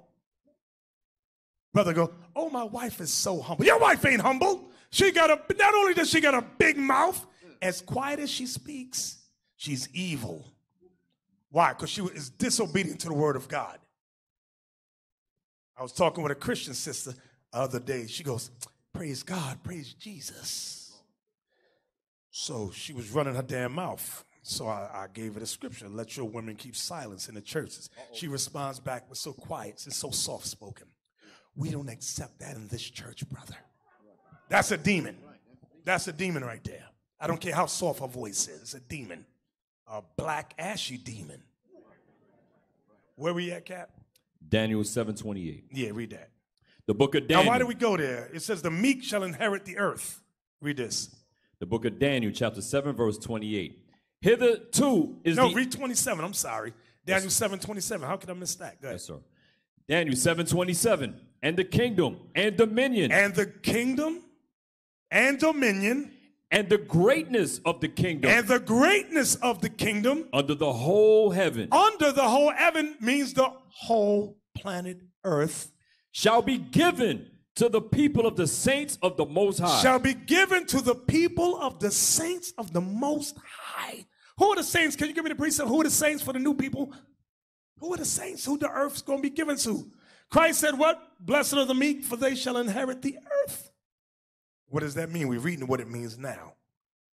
Psalm chapter 148, verse 14. Mm-hmm. He exalteth the horn of his people, the praise of all his saints, even of the children of Israel, a people near unto him. So the saints are the children of Israel. That's going back to Daniel 7, verse 27 and 28. Daniel chapter 7, verse 27. And the kingdom and dominion and the greatness of the kingdom under the whole heaven shall be given to the people of the saints of the Most High, The earth shall be given to the Israelites. Go ahead. Whose kingdom is an everlasting kingdom. And our kingdom shall be an everlasting kingdom, and all dominions shall serve and obey him. and everybody on the planet earth shall serve and obey Christ. Go ahead. Hitherto is the end of the matter. That's what the whole Bible's about. That's the whole plan of God. That's the spiritual strategy of God. That's the gospel right there. His whole plan, his whole strategy. All that we as a people have gone through, at the end of the day, God's plan is I'm giving you back the earth. It's yours. Take it. back to Matthew 5 so we don't forget the thought. That verse again. Yes, sir. Matthew chapter 5 and verse 5. Blessed are the meek, for they shall inherit the earth. So now we understand. Blessed are the meek. It's talking about those humble and meek Israelites that obey the commandments of God. We're going to rule the earth once again under Christ. That's the plan of God. That's the spiritual plan, the spiritual strategy of God. Back to Isaiah 61. Read it again. Yes, sir. Okay. When Moses had all those heads hung up, that was an action of being meek. you, you heard- you heard what I said? Because a lot of people think that meek means let's just soft business. Be to be meek means to obey God. God said have those heads hung. Here's another example. Remember when the dudes was selling stuff outside Right, Jerusalem? right, Nehemiah said, You keep selling stuff, I'm, going to lay hands, on you. That was meek business That's there. meek. Uh, We're saying that because this this this this misunderstanding of what meek means is t- is total Christianity crack. That's what it is. It ain't the Bible. Where we at, Cap? Isaiah 61 and verse 1. Read. The Spirit of the Lord God is upon me, because the Lord hath anointed me to preach good tidings unto the meek. He hath sent me to bind up the brokenhearted, We understand that already. He has sent me to bind up the brokenhearted. Go ahead. to proclaim liberty to the captives, The gospel is only to pro- be proclaimed to the captives, those in slavery. Go ahead. And the opening of the prison to them that are bound, And the opening of the prison to them that are bound. Give me that in Isaiah 42 7. The opening of the prisons to them that are bound. And you know, Deacon, you was just talking about the mass incarceration. America's like 5%. I was watching your class the other day. Go, what was Yeah, that? America represents five percent of the world's population. Mm-hmm. Of the world's population, basically a nickel compared to a dollar. But yet, a quarter of the world's population is in the prisons in this country, and nearly half of them is black men. Isaiah. 42. Mhm. chapter 42, verse 7. Go ahead. To open the blind eyes, to bring out the prisoners from the prison, See that? To open the blind eyes, to bring out the prisoners from the prison. Go ahead. and them that sit in darkness out of the prison house. See that? And them that sit in darkness out of the prison house. I know you didn't understand, but America is a prison house. We were brought to this prison house to serve slavery. Jamaica's a prison house. Haiti, too. That's right. Dominican Republic.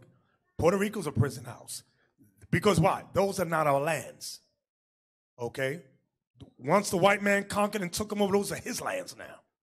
Our land, our motherland is Jerusalem. Yeah. You said because that's the truth. We were brought over here to serve slavery. Okay? And after the so-called emancipation, when we were supposed to be freed, right then came the 13th Amendment. And what happened with that? That clause in there allowed them to make slaves out of the so-called freed ones. And the only thing they needed to do was was frame a system that that shunts you into criminality. Therefore, you have your slaves again. That's where we're at. Because this, this, this engine cannot run off of a different fuel in which it was made for. This country was made to run off of slavery. And the minute they abolished slavery, the economy stopped. So they had to figure that out. So in figuring it out, they said we need to create slavery under a new name. Call them criminals. And engineer, engineer criminality and put them in prison and we can make our money again. And America is now more richer off of off of the so-called freedom than when, than when they had chattel slavery. There's an article on it. They say America has is more richer now than when when we was in, in chattel slavery. Jump down to verse 22. Watch this. Isaiah 42, verse 22. But this is a people robbed and spoiled. In case you didn't know it, brothers and sisters, we are a people robbed and spoiled. Go ahead. They are all of them. What does it mean, robbed and spoiled? They've taken everything from us. We often talk about our culture, heritage, language being taken from us, our minds. They also took our silver and gold. They took everything. And then when the Bible says we're robbed and spoiled, the Lord means that. He's, he's bringing out things that we don't, don't even consider. Some of us think we was just running through the midst of Africa with grass skirts on top of unga bunga, unga bunga. Oh, hell no. We was ruling there. We was the leaders there. And we ruled in Russia and Italy and Holland and Amsterdam and Spain and Portugal. That's right. And they, we were rich and wealthy. They took everything from us. This is why the white man says, no, we cannot give them reparations. Why? Because one of them might wake up and go, wait, wait, wait, wait, wait. What you did to us goes beyond what America did. It goes back before that. There might be a smart Negro among them that's going to figure things out. Them group of Israelites out there. Because they might get the audacity to open their god daggone mouths. White man said, no, no, don't give them nothing. Because once you open them floodgates, it's over. Don't give them nothing. Give them jobs. Give them welfare. Give them food stamps. Read it again. But this is a people robbed and spoiled. They are all of them snared in holes, and they are hid in prison houses. We all hid in prison houses. Yes, our brothers and sisters, our brothers and sisters incarcerated. But it goes beyond just that. See, we, we, we, we're so blind, we don't see America as a prison house. We see this as a land of freedom and opportunity. You saw if it's the land of freedom and opportunity and free. What happened with uh, Nick Cannon and DeSean Jackson tried to speak a little bit of truth? The boot came down on their necks. You can only say but so much if you're given opportunities to make this or that. Okay? Now, when you speak truth, they put you on a hate list. You are a hate group. They just shut down our live stream. They shut down the live stream saying, no, no, no, we can't, we don't want you on here. Read it again. But this is a people robbed and spoiled. They are all of them snared in holes, and they are They hid. broke the contract we have to my live stream. We had a contract with them, and they broke the contract. You know how they deal. They said with the contract. They said, let me see your contract. They ripped it up. What are you talking about? Bishop, yeah, that's how you know we are the prophets of God. right. That's right.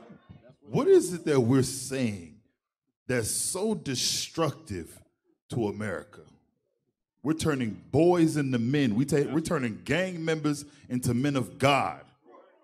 We're turning hoes into daughters of Sarah. Men are becoming fathers.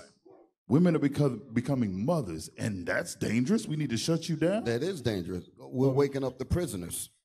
Oh man, you We're, forgot. wake, we're we're waking up the slaves. Yep. And once you wake them up, then they can't prosper off of them anymore. That's what the threat is. We changing the mind of the homosexual to be a man. That's what God created you to do. We changing the mind of the lesbian to be a woman. That's what God created you to be. Read that again. But this is a people robbed and spoiled. They are all of them snared in holes, and they are hid in prison houses. They pray and none deliver us. There's nobody delivering us as a race, as a people. Who's delivering us? Nobody. Go ahead. For a We're talking about spoil, man on earth. Nobody. Go ahead. For a spoil, We're for a spoil. and none saith, Restore. Who says, think about the world courts. Which court, world court I'm talking about, I ain't talking about a little uh, uh, municipal palace over here. I'm talking about world courts. What world court is saying restore to the Israelites all that was taken from them? Restore their culture, their language, their heritage. In fact, restore the lands that was taken from them. Restore the wealth that was. what? Who's speaking up on our behalf? None. Nobody. Nobody. Okay. When you look at when you looking at that map, all those areas where the Israelites were scattered to, all the places where we were taken to, an economy was built off of slavery. So a world economy was built off of the off of the destruction of the Israelites. All over the world, wherever they took us, an economy was built off of robbing us, off of enslaving us, off of uh, taking advantage of us and, and, and working us for free. A world economy. The whole planet Earth benefited when Israel went into captivity. I mean, look at Donald Trump and the other clown. It's which one of them will stand and say, "Let's pay them for what the uh, what we build America on"? America was building our back. Which one of your, which one of the white boy you gonna vote for? Who's gonna restore you what you lost? Showing you, y'all bugged out your mind, man. Y'all a bunch of bugged out people. Which one of the white boys said they're gonna pay us for the for slavery, for for for oppressions? You understand? Which one of them? But guess what? November came. They got that black uh, uh, uh, clown and the line. Elisha, can you put that letter up for me, please? Let me show you what Vimeo. Vimeo is who we had a contract with for live stream. This is the letter we received from Vimeo. The un, I'll tell you. when I say the white man's the devil, they're the devil the Bible speaks of. This is the letter. Put it on the screen. Put it on the screen. From John. Hey, um, uh, uh, read this for us. Can you read this for us? Yes, sir. so that y'all know I ain't making nothing up. And all you lawyers out there, we need your help because the white man is evil as the day is long. Oh, read that, read that from John. Read that. John who? Uh, John Fogelman, Fogelman, corporate counsel admitted in Florida, in-house counsel in New York State. Um, it jumps down, down to- October 9th, 2020. October 9th, 2020 by email attorney at gis gismithlaw.com. I'm going to jump down to this, Mr. Smith. All right. Dear Mr. Smith, on behalf of Vimeo Inc., I am writing in response to your email of September 10th, 2020, concerning Vimeo's non renewal and termination of the service order from dated July 26, 2017, between Israel United in Christ and Livestream LLC, a subsidiary of Vimeo, parentheses, the agreement. Section 5.5 of Vimeo's terms of service, service provides that hate groups and their members may not create or maintain accounts. The Southern Poverty Law Center, a widely regarded authority on hate groups in the They're United not States, an authority. That's not no government sanctioned organization. The hell is this? Go, go ahead. I'm just sorry. Ahead. I, I ain't going to interrupt you. It just annoys me. has designated IUIC as a hate group. As a result of this designation, which we view as conclusive, IUIC's account must be closed. In addition, IUIC has breached the content restrictions in our acceptance use policy, section 5.3 of our terms of service, by uploading hateful and discriminatory speech as well as content that contains false or misleading claims about vaccination safety as shown in Annex A. Thus, Thus, in addition to the hate group restriction, IUIC's content is simply incompatible with our platform. Contrary to IUIC's argument, Vimeo's reliance, reliance the SPLC's hate groups designations does not events events discrimination on any ground protected by any applicable civil rights laws, including 42 USC 1981. Indeed, in Coral Ridge Ministries Media, Inc. versus Amazon.com, the court, scroll up, go up. The court dismissed a religious discrimination claim based upon Amazon's reliance on, you got to go down a little bit. Move me out the way. Move on. me out the way. Down, down. Reliance on the SPLC's designation of a hate group as of a group as a hate group. Further, Vimeo's decision as to what accounts to allow on its platform are protected by Section 230 of the Communications Decency Act of 1996, 47 USC 230. Wow, they're saying we are indecent. hmm We're indecent, yeah. To this, to this end, Vimeo recently prevailed in a case alleging religious discrimination. See Domen vs. Vimeo Inc., number 19. I'm gonna jump to the next paragraph. In August, Vimeo provided notice of its decision and the ability for IURC to download its videos from Vimeo's video hosting platform so that it can migrate them to another platform. As a courtesy, we are hereby extending the date of, of termination through and until 6 p.m. Eastern Time on Friday, October 23rd, 2020. We strongly encourage IUIC to download its videos to preserve them. Should you have any questions, please contact me directly. When- So when we say the white man's the devil, we mean that thing. This is unjust. So we don't we don't have freedom of speech. That does not our freedom of speech does not apply to Israelites oh. reading the Bible. What does that say right there? To decision Malachi, what you to terminate account that published anti-LGBTQ. Right, y'all see that crowd right there? content. Of course, we speak against the LGBTQ community as being a sin. That's against their policy. So what is this actually saying? Because we're looking at this on this level, but what they're really saying is that we want to terminate our contract with the Bible. That's what they're really saying. Because everything that we're talking about is biblical. Let's go on back, Captain Amaziah. Yes, sir. We're in uh, Isaiah 42, verse 22. But this is a people robbed and spoiled. They are all of them snared in holes, and they are hid in prison houses. That's what I wanted. I didn't finish that prison houses thing. Go ahead, wait, read the next part. They are for a prey, and none delivereth. Right, go ahead. For a spoil, and none saith, Restore. None saith restore. No, who's saying restore? You see this injustice they're doing, and nobody speaks up and say, hey, that's not right what y'all are doing to the Israelites. Give me uh, Psalms 146, verse 7. Psalms 146 about opening prison houses. The book of Psalm, chapter 146, verse 7. Which executeth judgment for the oppressed, which giveth food to the hungry. I want y'all to see what it just said. It said, which executeth judgment for the oppressed. Go ahead. which giveth food to the hungry. Go ahead. The Lord looseth the prisoners. The Lord is the only one that's going to loose us. Only the Lord can do it. Marcus Garvey tried, he failed. Malcolm X tried, he failed. Martin Luther King tried, he failed. Sojourner Truth tried, she failed. Harriet Tubman tried, she failed. Denmark Vesey tried, he failed. Nat Turner tried, he failed. Nobody can loose us from this prison house but the Lord. That's what it's saying. Give me Zechariah 9:12. We want free from this prison house. the book of Zechariah, chapter 9 and verse 12.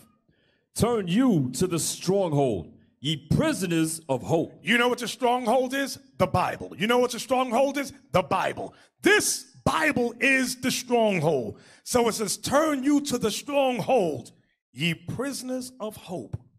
We're prisoners, we're always hoping for a better day, always hoping for uh, reparations, always hoping for this, always hoping for that.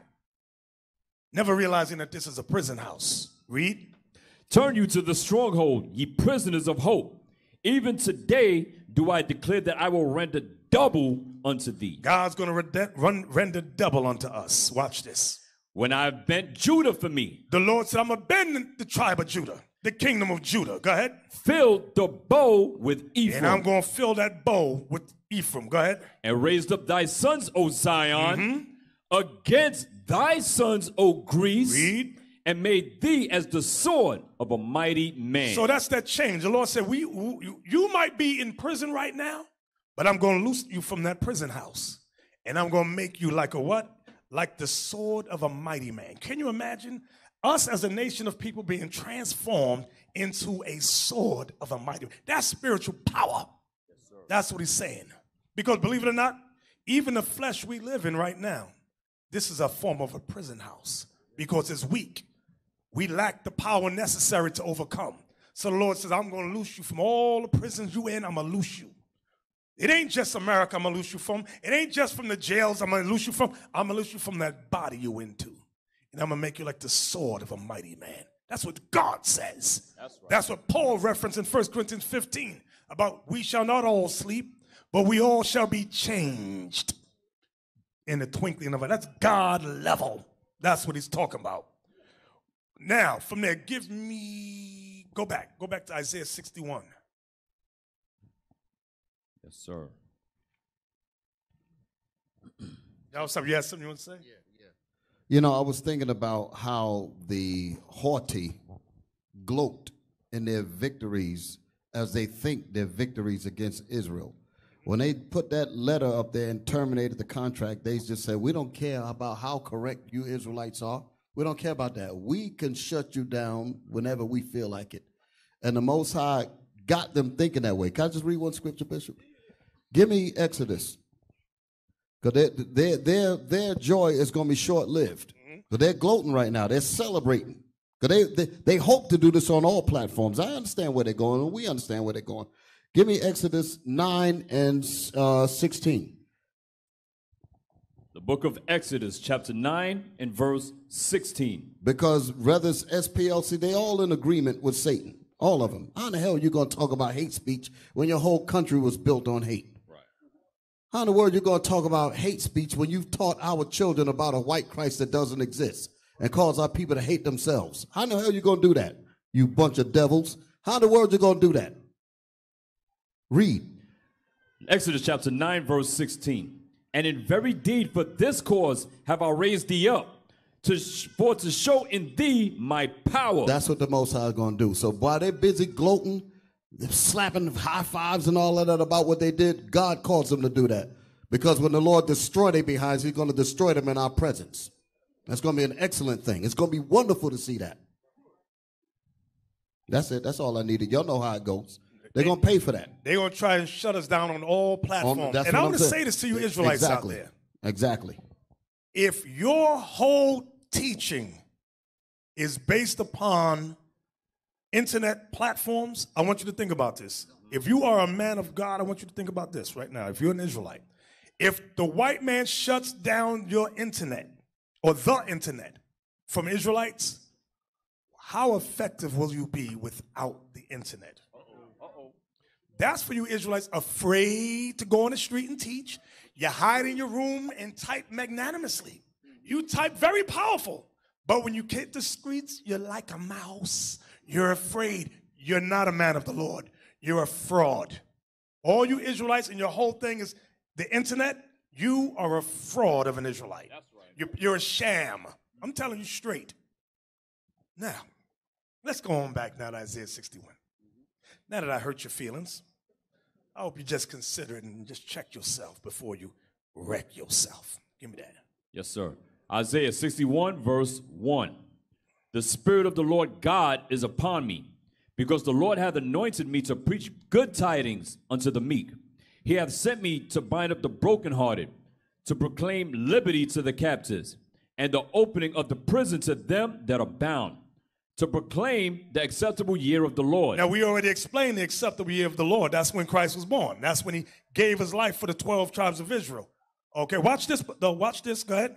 And the day of vengeance of our God to comfort all that mourn. And the day of vengeance of our God to comfort all that mourn. So, what y'all don't realize, glad tidings, the good news, the gospel is meant to proclaim the acceptable year of the Lord and and the day of vengeance of our God. Nobody talks about that.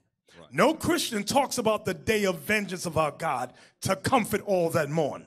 We need to hear about vengeance. C- come on. That's considered hate speech right there. This is a sweet smell to Israel, but it's a smell of death to our enemies. There you go. That's it right there. I want to talk about the day of vengeance just for a minute. The day of vengeance comforts all that mourn. Let me say it again. The day of vengeance comforts all that mourn. That's the gospel. No Christian on earth talks about the day of vengeance. How can vengeance comfort all that mourn? Because the day of vengeance is for the oppressed. We want justice. We want vengeance. Here we go. Here we go. Isaiah 34, verse 8. The book of Isaiah, chapter 34, verse 8. For it is the day of the Lord's vengeance and the year of recompenses for the controversy of Zion. That's what the Lord told. But let's go back. Let's back up in the chapter. Let's back up. Where do I want to go to? Verse four. Hmm, let's start at verse 4. Isaiah 34. No, no, no. Start at verse 2. Isaiah 34, verse 2. For the indignation of the Lord is upon all nations. The indignation of the Lord is upon all nations. You Christians want to talk about all nations? Well, here you go, right here. Read. and his fury upon all their armies. And his fury is upon all their armies. Go ahead. he hath utterly That's the armies of America, the armies of Britain and France and Germany, Russia, China, Saudi Arabia, Iran, Iraq. All their armies. Go ahead. He hath utterly destroyed them. He hath utterly destroyed them. Go ahead. He hath delivered them to the slaughter. God's delivering the nations to the slaughter. Go ahead. Their slain also shall be cast out, and their stink shall come up out of their carcasses, mm, Go ahead. and the mountains shall be melted with their blood. And the mountains shall be melted. You know, the only thing that can melt somebody? Thermonuclear fire. Mm. Vengeance, baby. Vengeance. Read. and all the hosts of heaven shall be dissolved, All your satellites, America's Space Force shall be what?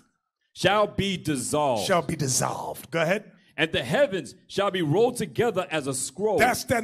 Alicia, can you find me a mushroom cloud? Find me a mushroom cloud. It says, and the heavens shall be rolled together as a scroll.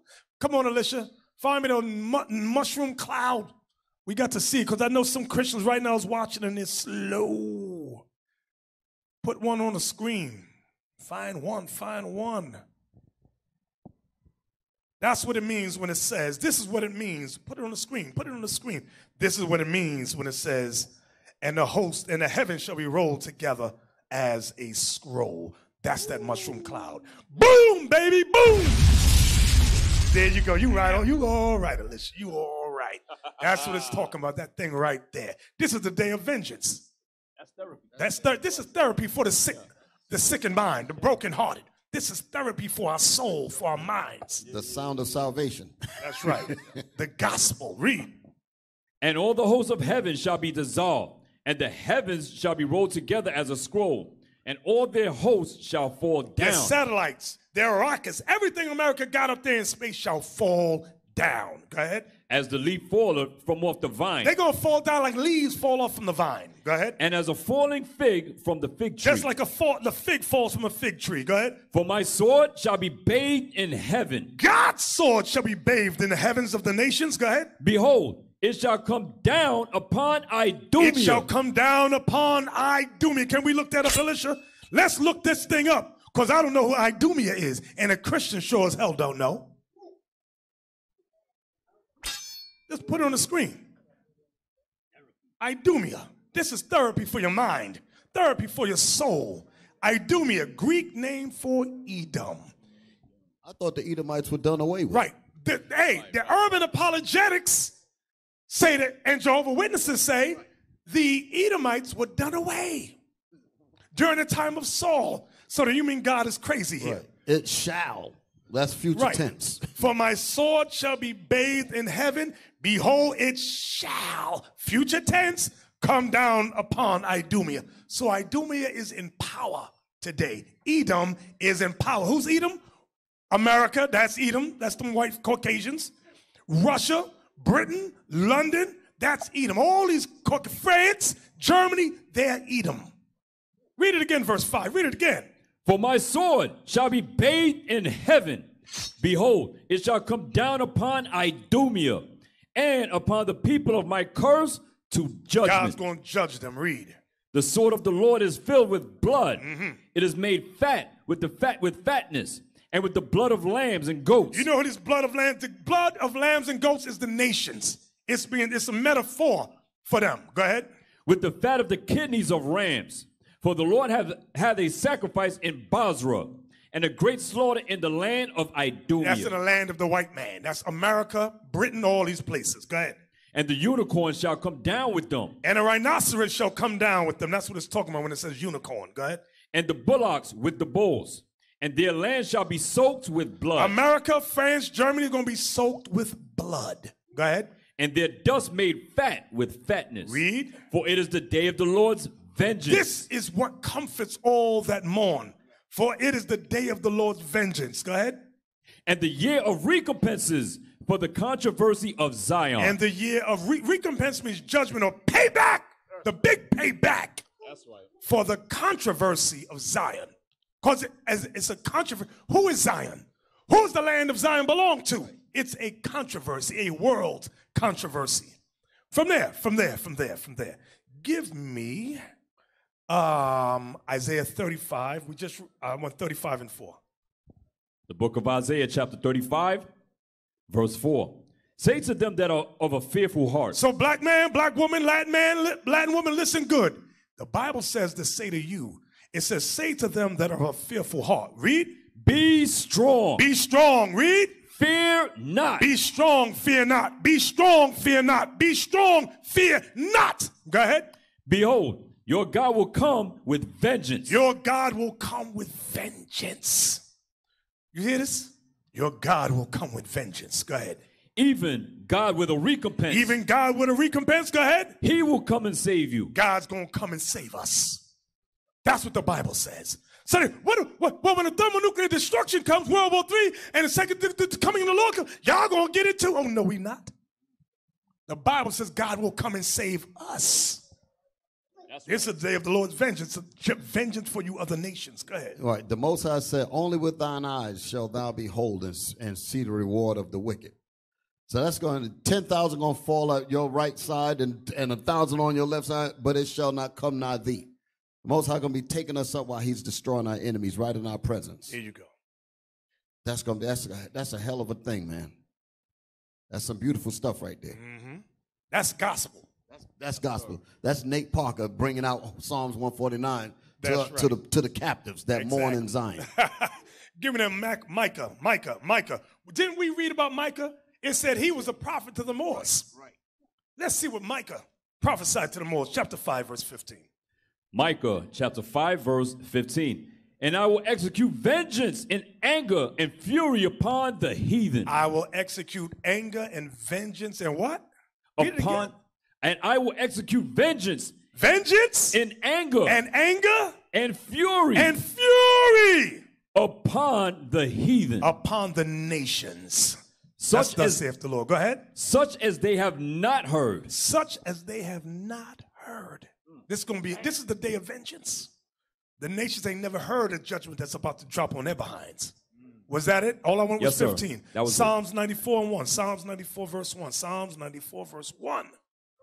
Yes, yes, yes. Any kind of language that the slaves speak is going to be considered hate, speech. Hate speech. speech.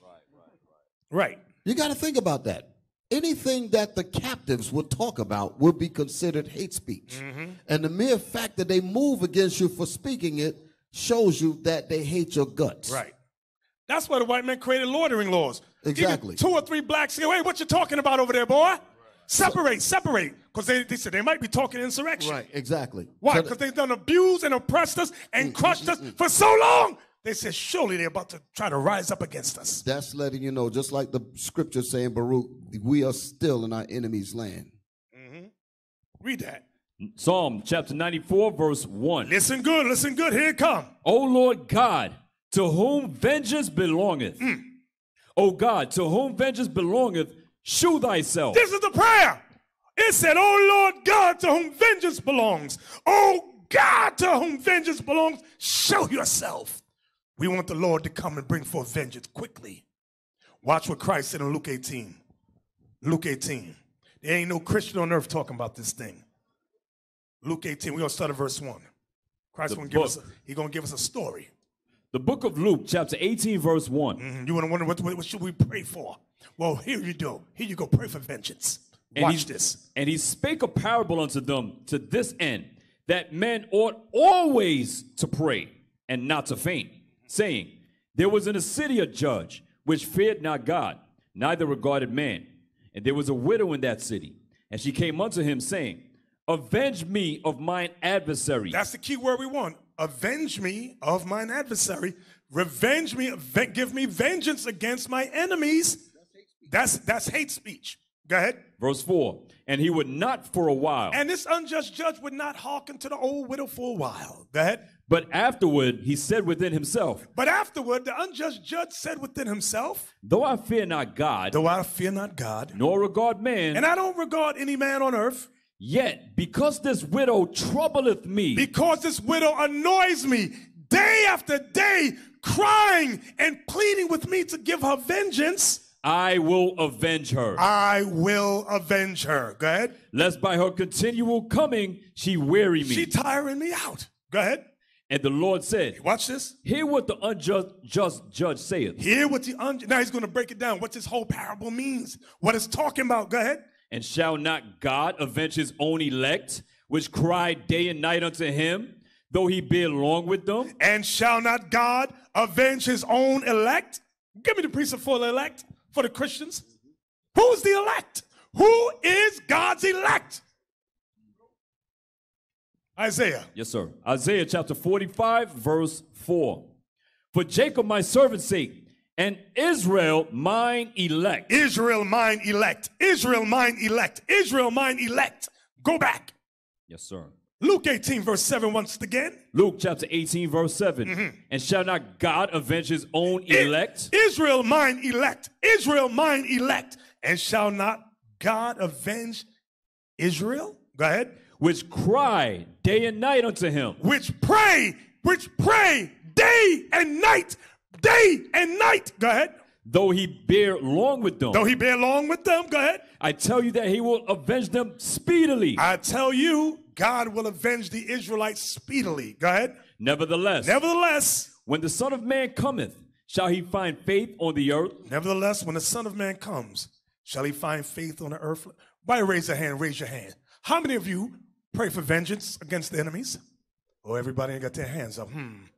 Hmm. I might consider y'all might be telling, but this side over here.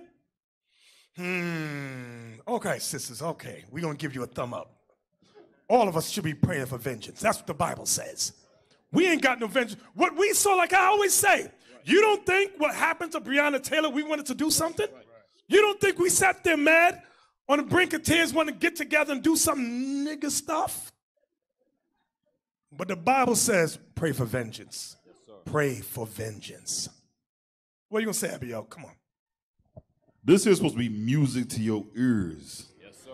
When you hear this thing, like I said, all of us we feel it when we clock in. We hit that that nine to five. You got that Edomite telling you, "Nigga, get to work." You got to remember and fall back on the scriptures. And guess what? Our day is coming. Let me get Ezekiel, Ezekiel the thirty fifth chapter, real quick. The Lord, God is a God of vengeance. If you don't understand that, I don't know what Bible you're reading. Ezekiel 35, we're going to start. I'm going to get to the point. Give me verse 5.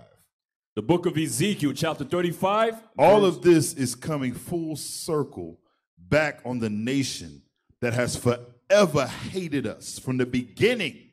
This perpetual hatred that he had against us or has against us. Go ahead. Ezekiel, chapter 35, and verse 5. Read. Because thou hast had a perpetual hatred Uh huh. and hast shed the blood of the children of Israel by the force of the sword in the time of their calamity. He has shed the blood of the children of Israel. We, we speak about things in our time, like I said, Breonna Taylor, Trayvon Martin, Mike Brown. We bring up these things that's happened in this day. But this has been going on. This has been happening. From the beginning, he has hated us and wanted to kill his brother. Go ahead.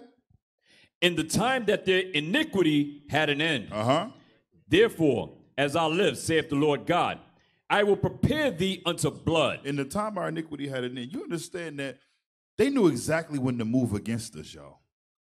We fell. We messed up. We didn't want to keep God's commandments. Therefore, they took advantage. Like it says, what's that in? Was it Judith, the fifth chapter? 520. They knew when God, hey, listen, when these people fall away from God's laws, we can move on them. Esau took full advantage. It says, Therefore, as I live, saith the Lord God, I will prepare thee unto blood. Go ahead. And blood shall pursue thee. Shall what? Shall pursue thee. Come on. Sith thou has not hated blood, Sith is since. Since you didn't hate blood, Edom, go ahead. even blood shall pursue thee. Blood's gonna chase you. That vengeance is coming back your way. Come on.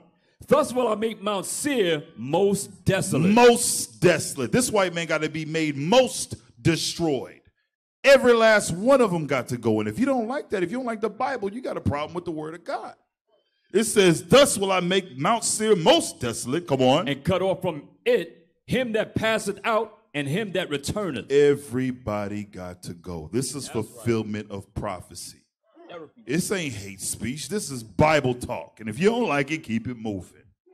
And although, because you see, we get a little emotional when we see how the nations attack us, and like that letter that we just saw, but that's God's plans. Now, I'm going to explain what I mean, because like I read that scripture earlier, the Lord is the one that, that mustereth the host of the battle. He's the one that built this man up to be this terrible, this this this this God that nobody can't do nothing with, that everybody feared him, and everyone's all nervous and afraid. The Lord set that, the Lord set that thing up because what he's saying is that when I destroy you, because I built you up, then the whole world is going to know that I am God, and besides me, there is no other God. So I'm going to give you the power. I'm going to give you the power to oppress. I'm going to give you the power to put your nasty hands on my elect. I'm going to build you up. Everybody going to be afraid of you. So when I smash you, everybody going to know that I'm the power. That's what he did in ancient Egypt. That's what he's going to do to this beast again. Get that in uh, Wisdom of Solomon 18.7.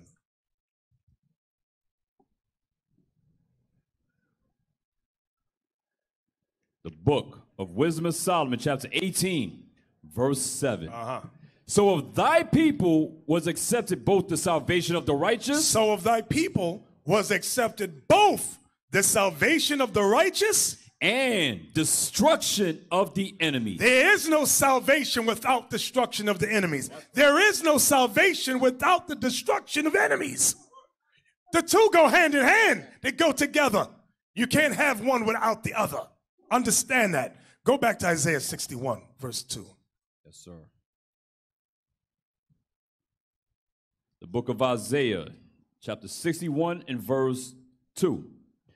To proclaim the acceptable year of the Lord and the day of vengeance of our God, to comfort all that mourn. To comfort all that mourn, to comfort all that mourn. Isaiah 38, 14. Isaiah 38, 14. To comfort all that mourn. The book of Isaiah, chapter 38 and verse 14. Like a crane or a swallow. That's what we read earlier. So did I chatter. I did mourn as a dove. Mine eyes fail with looking upward. O Lord, I am oppressed. Undertake for me. Give me Isaiah 25, 8. Isaiah chapter 25 and verse 8. The book of Isaiah, chapter 25 and verse 8. He will swallow up death in victory, and the Lord God will wipe away tears from all from off all faces. See what the Lord's going to do? We'll wipe away tears from off all faces. Talking about us. This is what's happening. He's going to wipe away tears from all the tears that we feel. I don't know about some of y'all, but I sometimes I sit alone and I watch the news. I look at the, the, the atrocities to our people, and it does bring tears to your eyes. Not tears so much of grief, but of anger. I don't know if you understand. It's anger coupled with grief. Can I give him an example, Bishop? When y'all watched George Floyd die, Right. was murdered, and you hear that man cry for his mother, and his mother was already dead. Mm. Just think about that. Just imagine what was going through his mind as he was slowly dying. That thing almost brought tears in my eyes. It's, it's welling up in my spirit now because I'm so angry. Read that again. Isaiah 25 and verse 8. He will swallow up death in victory, and the Lord God will wipe away tears from off all faces. That's what we waiting. Go ahead. and the rebuke of his people shall he take away from off all the earth. And the rebuke of his people shall he take away from off all the earth. What is our rebuke? Slavery, captivity, oppression. He said, I'm going to take it off from off the earth. Go ahead. For the Lord hath spoken For it. the Lord hath spoken. Revelation 21 4, please. The book of Revelation, chapter 21 and verse 4. And God shall wipe away all tears from their eyes, And God shall wipe away all tears from their eyes. Go ahead. and there shall be no more death, And there shall be no more death, neither sorrow neither sorrow, nor crying, nor crying. There shall be no more George Floyd deaths. No more Breonna Taylor deaths. No more Tamir Rice death. No more Sandra Bland deaths. Read it again. And God shall wipe away all tears from their eyes, and there shall be no more death, mm-hmm. neither sorrow Neither sorrow, nor crying, nor crying, neither shall there be any more pain, neither shall there be any more pain with someone's neck, foot, knee on the back of our necks, or someone choking us and we screaming, I can't breathe. Go ahead. for the former things are passed away. The Bible says them, them, them days of living is going to be finished, done with, gone. Give me, go back to Isaiah 61. Verse 3. the book of Isaiah, chapter 61, and verse 3. Mm-hmm. To appoint unto them that mourn in Zion. See that? To appoint unto them that mourn in Zion. It ain't talking about the mourning of all races and all nations. It's talking about those that mourn in Zion. It's talking about the mourning of the Israelites. Go ahead. To give unto them beauty for ashes, God's going to give unto us beauty for ashes. Go ahead. The oil of joy for mourning, He's going to give unto us the oil of joy for our mourning, meaning weeping and crying. Go ahead. the garment of praise for the spirit of heaviness. And he's going to give us the garment of praise for the spirit of depression, sorrow that comes upon us. Go ahead. that they might be called trees of righteousness. That they might be called trees of righteousness, the planting of the Lord. the planting of the Lord, that he might be glorified. that he might be glorified. Give me that in Psalms 1 and 1 to 3. We shall be called the trees of righteousness. What that talking about? The book of Psalms, chapter 1, verse 1. Blessed is the man that walketh not in the counsel of the ungodly, Blessed is the man that walks not in the counsel of the ungodly. Go ahead. nor standeth in the way of sinners, Nor stands in the way of sinners, breaking of God's laws. nor sitteth in the seat of the scornful. Nor sitteth in the seat of the scornful. Go ahead. but his delight is in the law of the Lord. Read. And in his law doth he meditate day and night. Watch this. And he shall be like a tree planted by the rivers of water, So if we walk and delight in the law of God, it says we shall be like a tree planted by the rivers of water. When you examine a tree planted by the rivers of water, those trees are strong trees. Those trees bear forth the greatest and biggest fruit. Those are strong trees. Go ahead. that bringeth forth his fruit in his season. That bringeth forth his fruit in due season. There's, there's, the fruit is not retarded, not delayed or halted. Go ahead. It's talking about the understanding. Go ahead. His leaf also shall not wither, Those leaves on those trees shall not wither, neither shall our understanding. and whatsoever he doeth shall prosper. See that? And whatsoever we do in this day shall prosper. Let's go on back. Isaiah 61, verse 4. Isaiah chapter 61 and verse 4. Mm-hmm. And they shall build the old wastes, they shall raise up the former desolations, and they shall repair the waste cities, the desolations of many generations. And strangers shall stand and feed your flocks, Mm-hmm. and the sons of the alien shall be your plowmen and your vine So dressers. m- notice from verse verse 1 is saying the same thing as Luke 4 about the gospel. And it goes down and gives example of the good news. So it says, and they shall build the old wastes. They shall raise up the former desolations, and they shall repair the waste cities, the desolations of many generations. And strangers shall stand and feed your flocks. And the sons of the alien shall be your plowmen and your vine dressers. Go to Isaiah 60, 10 through 14. The chapter before it gives us understanding. In case you go, well, I'm not too sure. What does it mean the alien's going to be our plowmen? Isaiah 60. Isaiah chapter 60, verse 10. Uh huh. And the sons of strangers shall build up thy walls, This is the gospel. Go ahead. and their kings shall minister unto thee. Read. For in my wrath I smote thee, In God's wrath, he smote us and sent us into slavery. That's what that means. but in my favor have I had mercy on thee. That's when he sent Christ. Therefore thy gates shall be open continually. The gates of our kingdom shall be open continually. They shall not be shut day nor night. Why? That men may bring unto thee the forces of the Gentiles. And men may bring unto thee the wealth, the riches of the nations. Go ahead. and that their kings may be brought. And their kings gonna be brought before us. Go ahead. For the nation and kingdom that will not serve thee shall perish. Read. Yea, those nations shall be utterly wasted. What are we reading? The gospel, the good news. I don't know about you. This is medicine for my mind, for my soul. This is therapy. Read. The glory of Lebanon shall come unto thee, the fir tree, the pine tree, and the box together, Because the nation's going to bring these elements to us. Go ahead. to beautify the place of my sanctuary. For the purpose of beautifying God's sanctuary. Go ahead. and I will make the place of my feet glorious. Read. The sons also of them that afflicted thee The sons of them that afflicted thee, the white man, the Chinese and Japanese and Arabs, the sons and the Hamites, the sons of them that afflicted thee, shall come bending unto thee, they shall come bending unto thee. and all they that despise And thee And all they that hate our guts, shall bow themselves down at the soles of thy feet, they shall bow themselves down at the soles of thy feet. and they shall call thee the city of the Lord, They're gonna call all Israel the city of the Lord. Go ahead. the Zion of the Holy One of Israel. The Zion of the Holy One of Israel. Let's go on back to Isaiah 61. There's some good stuff right here. What are we reading? The gospel. Glad tidings. Isaiah 61, verse 6 now. Mm-hmm. But ye shall be named the priests of the Lord. But ye shall be made, read that again.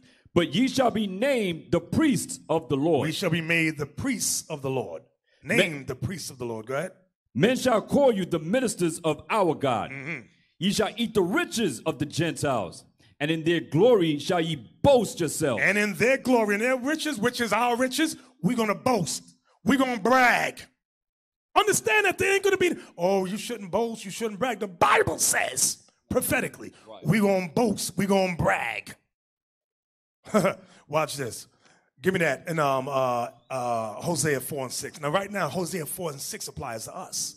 Watch this. Because notice what, remember what it said. I want you to remember the thought. Ye shall be named the priest of the Lord. But Hosea 4 6 is where we at today. Read. Hosea chapter 4, verse 6. My people are destroyed for lack of knowledge. What's the knowledge? The knowledge of God is the laws of God. The knowledge of God is the laws of God. Read.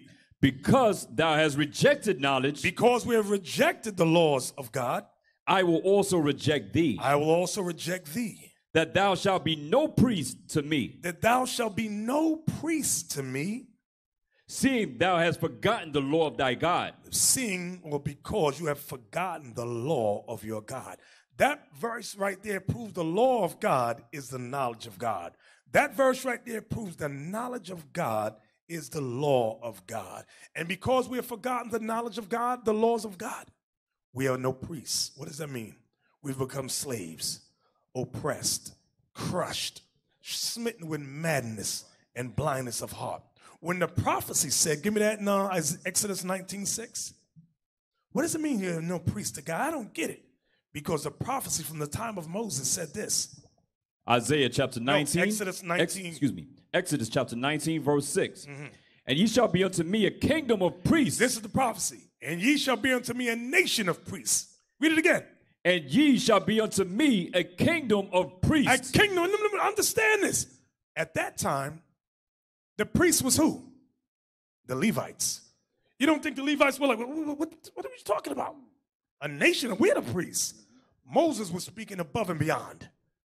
Why? Because he had just come down from the mountain. And the Lord showed him the kingdom of heaven, where all Israelite males, the elect, shall be what? Read it again. And ye shall be unto me a kingdom of priests. We shall be a kingdom of priests. Was that it? no, sir. And an holy nation. and a holy nation. Give me Revelation 1 and 6. That's what Moses said prophetically. Watch what Christ said prophetically. Revelation chapter 1, verse 6. and hath made us What? kings Read it again. and hath made us kings and priests. And hath made us, made us kings and priests. Why? Because the prophecy from the time of Moses said that thing. We shall be a kingdom of priests. So Christ, remember what he said. I'm not come to destroy the law or the prophets. I've not come to destroy, but to what? Fulfill. Moses prophesied, you shall be a kingdom of priests. I'm coming to make sure it comes to pass. Understand this thing. Going back to Isaiah. Isaiah chapter 61, Verse 6 again. 6. But ye shall be named the priests of the Lord. That's what Revelation 1 and 6 was talking about. Go ahead. Men shall call you the ministers of our God. Mm-hmm. Ye shall eat the riches of the Gentiles, and in their glory shall ye boast yourselves. Read. For your shame ye shall have double, For your shit, the shame that we got here, God promised we're going to get double. Go ahead. and for confusion they shall rejoice in their portion. And for confusion, we shall rejoice in the portion we are given. Go ahead. Therefore, in their land they shall possess the double. In our land, we shall possess the double. Everlasting joy shall be unto them. Everlasting joy shall be unto us. Give me that. Ezekiel 36 5, please. Ezekiel 36 5. The book of Ezekiel. I mean, Ezekiel 36 35. I'm sorry. Ezekiel 36, verse 35. Ezekiel chapter 36, verse 35. Watch this. And they shall say, This land that was desolate This land that was desolate, because when you look at the land of Israel today, it's desolate. It's a wasteland. It's a desert. Go ahead. is become like the Garden of Eden. If you didn't know what the Garden of Eden was, the heart of the Garden of Eden, now you know. This land that was desolate has become like the Garden of Eden. Go ahead. and the waste and desolate and ruined cities are become fenced And Going to and, become built up again and was- are inhabited. and are inhabited. So the Garden of Eden is going, we going right back. So what we read about in Genesis chapter 1, chapter 2, chapter 3 about the Garden of Eden is coming back again on the earth. And we're going to be in the midst. That's when the 12 tribes of Israel are gathered together under Christ. Back to Isaiah 61 9, please. Isaiah chapter 61 and now verse 9. And their seed shall be known among the Gentiles. Don't, I don't know about y'all. I want this thing. I want the nations, when they see my sons and daughters, to bow down and know them by name. How many of you want that thing? All praises. Say I. Read that, read that, read that again. and All their praises. seed shall be known among the Gentiles. Our seed shall be known amongst the nations, and their offspring among the people. and our children going to be known amongst the people. All that see them shall acknowledge them. Everybody that sees our children shall acknowledge them. Go ahead. That, that they are the seed which the Lord hath blessed. That they are the seed that the Lord has blessed. Give me that in Zephaniah 3.19. Zephaniah 3.19. the book of Zephaniah. Zechariah, I'm I keep saying the oh. wrong thing. Is Zech, is it Zechariah? Let me hear Zechariah. Zechariah. Is it Zephaniah or Zechariah? Zephaniah, I think it's I think it's Zephaniah. yeah. Zephaniah chapter 3, verse 19. Behold, at that time That's- I will, I will undo all that afflict thee, and I will save her that halteth, and gather, gather her that was driven out. And I will get them praise and fame in every land where they have been put to shame. God's going to make sure we get praise and fame in every land where they were put to shame. Put the map back on the screen, Alicia. Put the map back on the screen. And this ain't a full map. Now remember, America's going to be wiped off. Put it on the screen. America's going to be wiped off the face of the earth. But over here on this side, over there on the right side, we're going to be fame made famous in Europe with the Ottoman. Hey, did I give you another map, Alicia, or just that one? Okay. Europe, you got Morocco, you got Arabia, you got um let me look for another map. Speak loud, see y'all something. Look, let me look for. You know what's uh, uh it's beautiful what's what's this is the gospel as we're looking up here. As I look at this map and I see all these areas where we've been, and then I also think about the Inquisition that happened in the 1400s, 1492, around that time, and the, how they were sawing our people. The, the illustrations of some of the pictures that was brought out in some of the earlier classes, where they were sawing our people upside down and all of that, all kinds of evils that we suffered during the during the Spanish Inquisition. and all the way up to the slavery, the castration, and the robbery, and the murder, and all of the things that happened to us, all the way up to now with this stuff, with this incarceration and George Floyd and the rest of our people, just constant murder. For us to come through all of this, here we are at the doors of our salvation. For somebody to fall out of this truth because they got corrected, because the, it's just asinine to me. Uh, this doesn't make any sense. Uh, if I mess up and I get judged, I'm going to fix it and come on back because I want payback at the end of the deal. The big payback. The big payback. How in the hell am I going to get all the way up here and count and let all of that go? Mm-mm. No, no, no. Mm-mm. No, no. Whatever.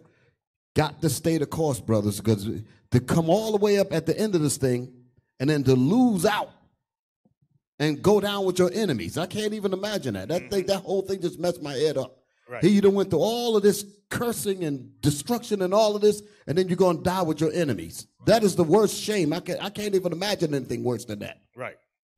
Hey, the Lord said we're going to get praise and fame in every land wherein we will put to shame. Show me that map. Show me that map. I want you, because remember, this, these are the countries that's going to remain. The continent of Africa is still going to be here. We're going to praise and fame on the continent of Africa. We're going to get praise and fame in Madagascar, Reunion, Mauritius. Sri Lanka, going to get praise and fame. They sent us to India and Pakistan. We're going to get praise and fame. They sent us to Iran and Iraq. We're going to get praise and fame. They sent us to Syria and Turkey. We're going to get praise and fame. Let's get a Lord a hand for that thing right there.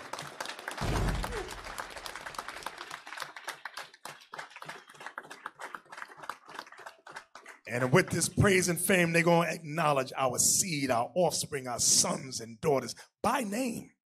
By name. Go back to Isaiah. Where was you at? Uh, verse, I just finished verse 9. Okay, verse 10 now. Isaiah 61, verse 10. I will greatly rejoice in the Lord. My soul shall be joyful in my God, for he hath clothed me with the garments of salvation. He hath covered me with the robe of righteousness, as a bridegroom decketh himself with ornaments, and as a bride adorneth herself with her jewels. See, the Lord's going to redecorate us. Rede- when I say redecorate, He's going to deck us with silver and gold all over again. Okay, give me that in Ezekiel uh, 16:10.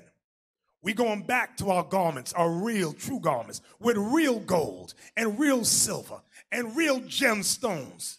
No more the plastic and the vinyl and, and uh, pleather. The hell is this? Give me that Ezekiel 16, 10 through 14, please. Uh, Ezekiel chapter 16, verse 10. I clothed thee also with broidered work, and shod thee with badger skin. And I girded thee about with fine linen, and I covered thee with silk. with I, silk. He gonna cover us with silk. Go ahead. I decked thee also with ornaments, With ornaments. And I put bracelets upon thy hands, We're gonna have armbands and bracelets. That's what it's talking about. Go ahead. and a chain You got on, male bracelets, you got female bracelets. Go ahead. and a chain on thy neck. We're gonna have that's right. We this is why that's in our spirit to like them things. We're gonna have chains on our neck. And gold chains. Go ahead. Ain't talking about no iron.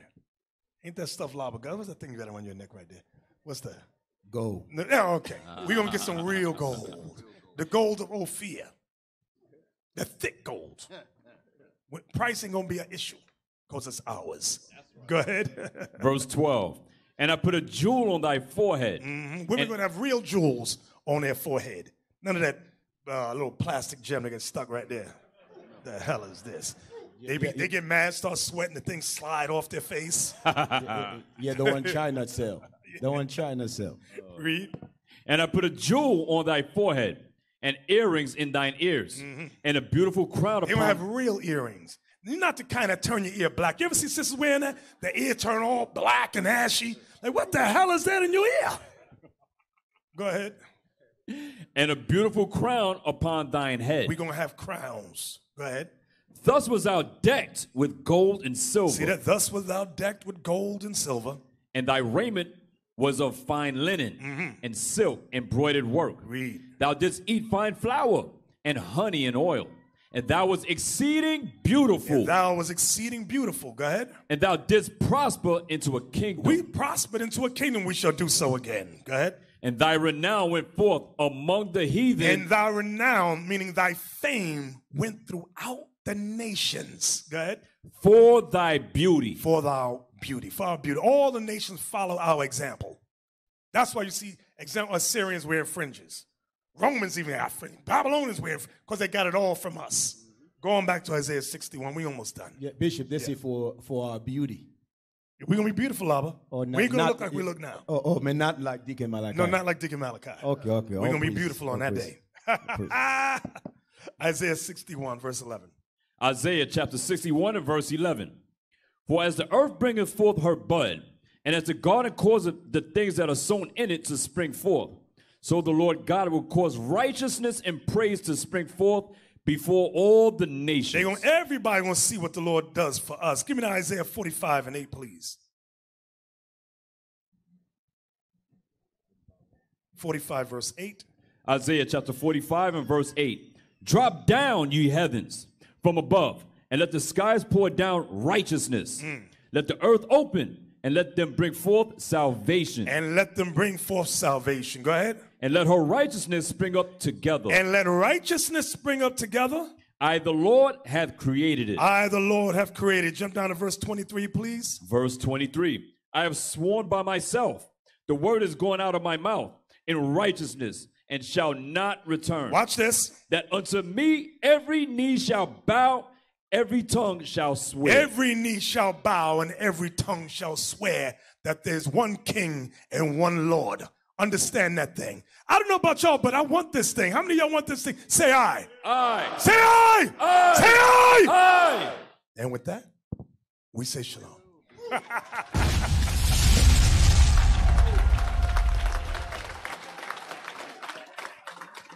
We used to scream black power while Heron was pushed. But at the end of the day, nothing's in vain. IUIC has been given a vision. The tents of Judah has risen. Many has attempted the mission, minor murmuring, omitting, and missing the mark. Just reading that he had the flame of fire in his eyes gave us the spark. We on Paul's mission. We out on the road, purple and gold, from Mexico, Cuba, Haiti, Ghana, Sierra Leone. 144,000 boots banging, concrete crackling. These are our men repented at heart. The scriptures is proof. IUIC, we deliver the truth.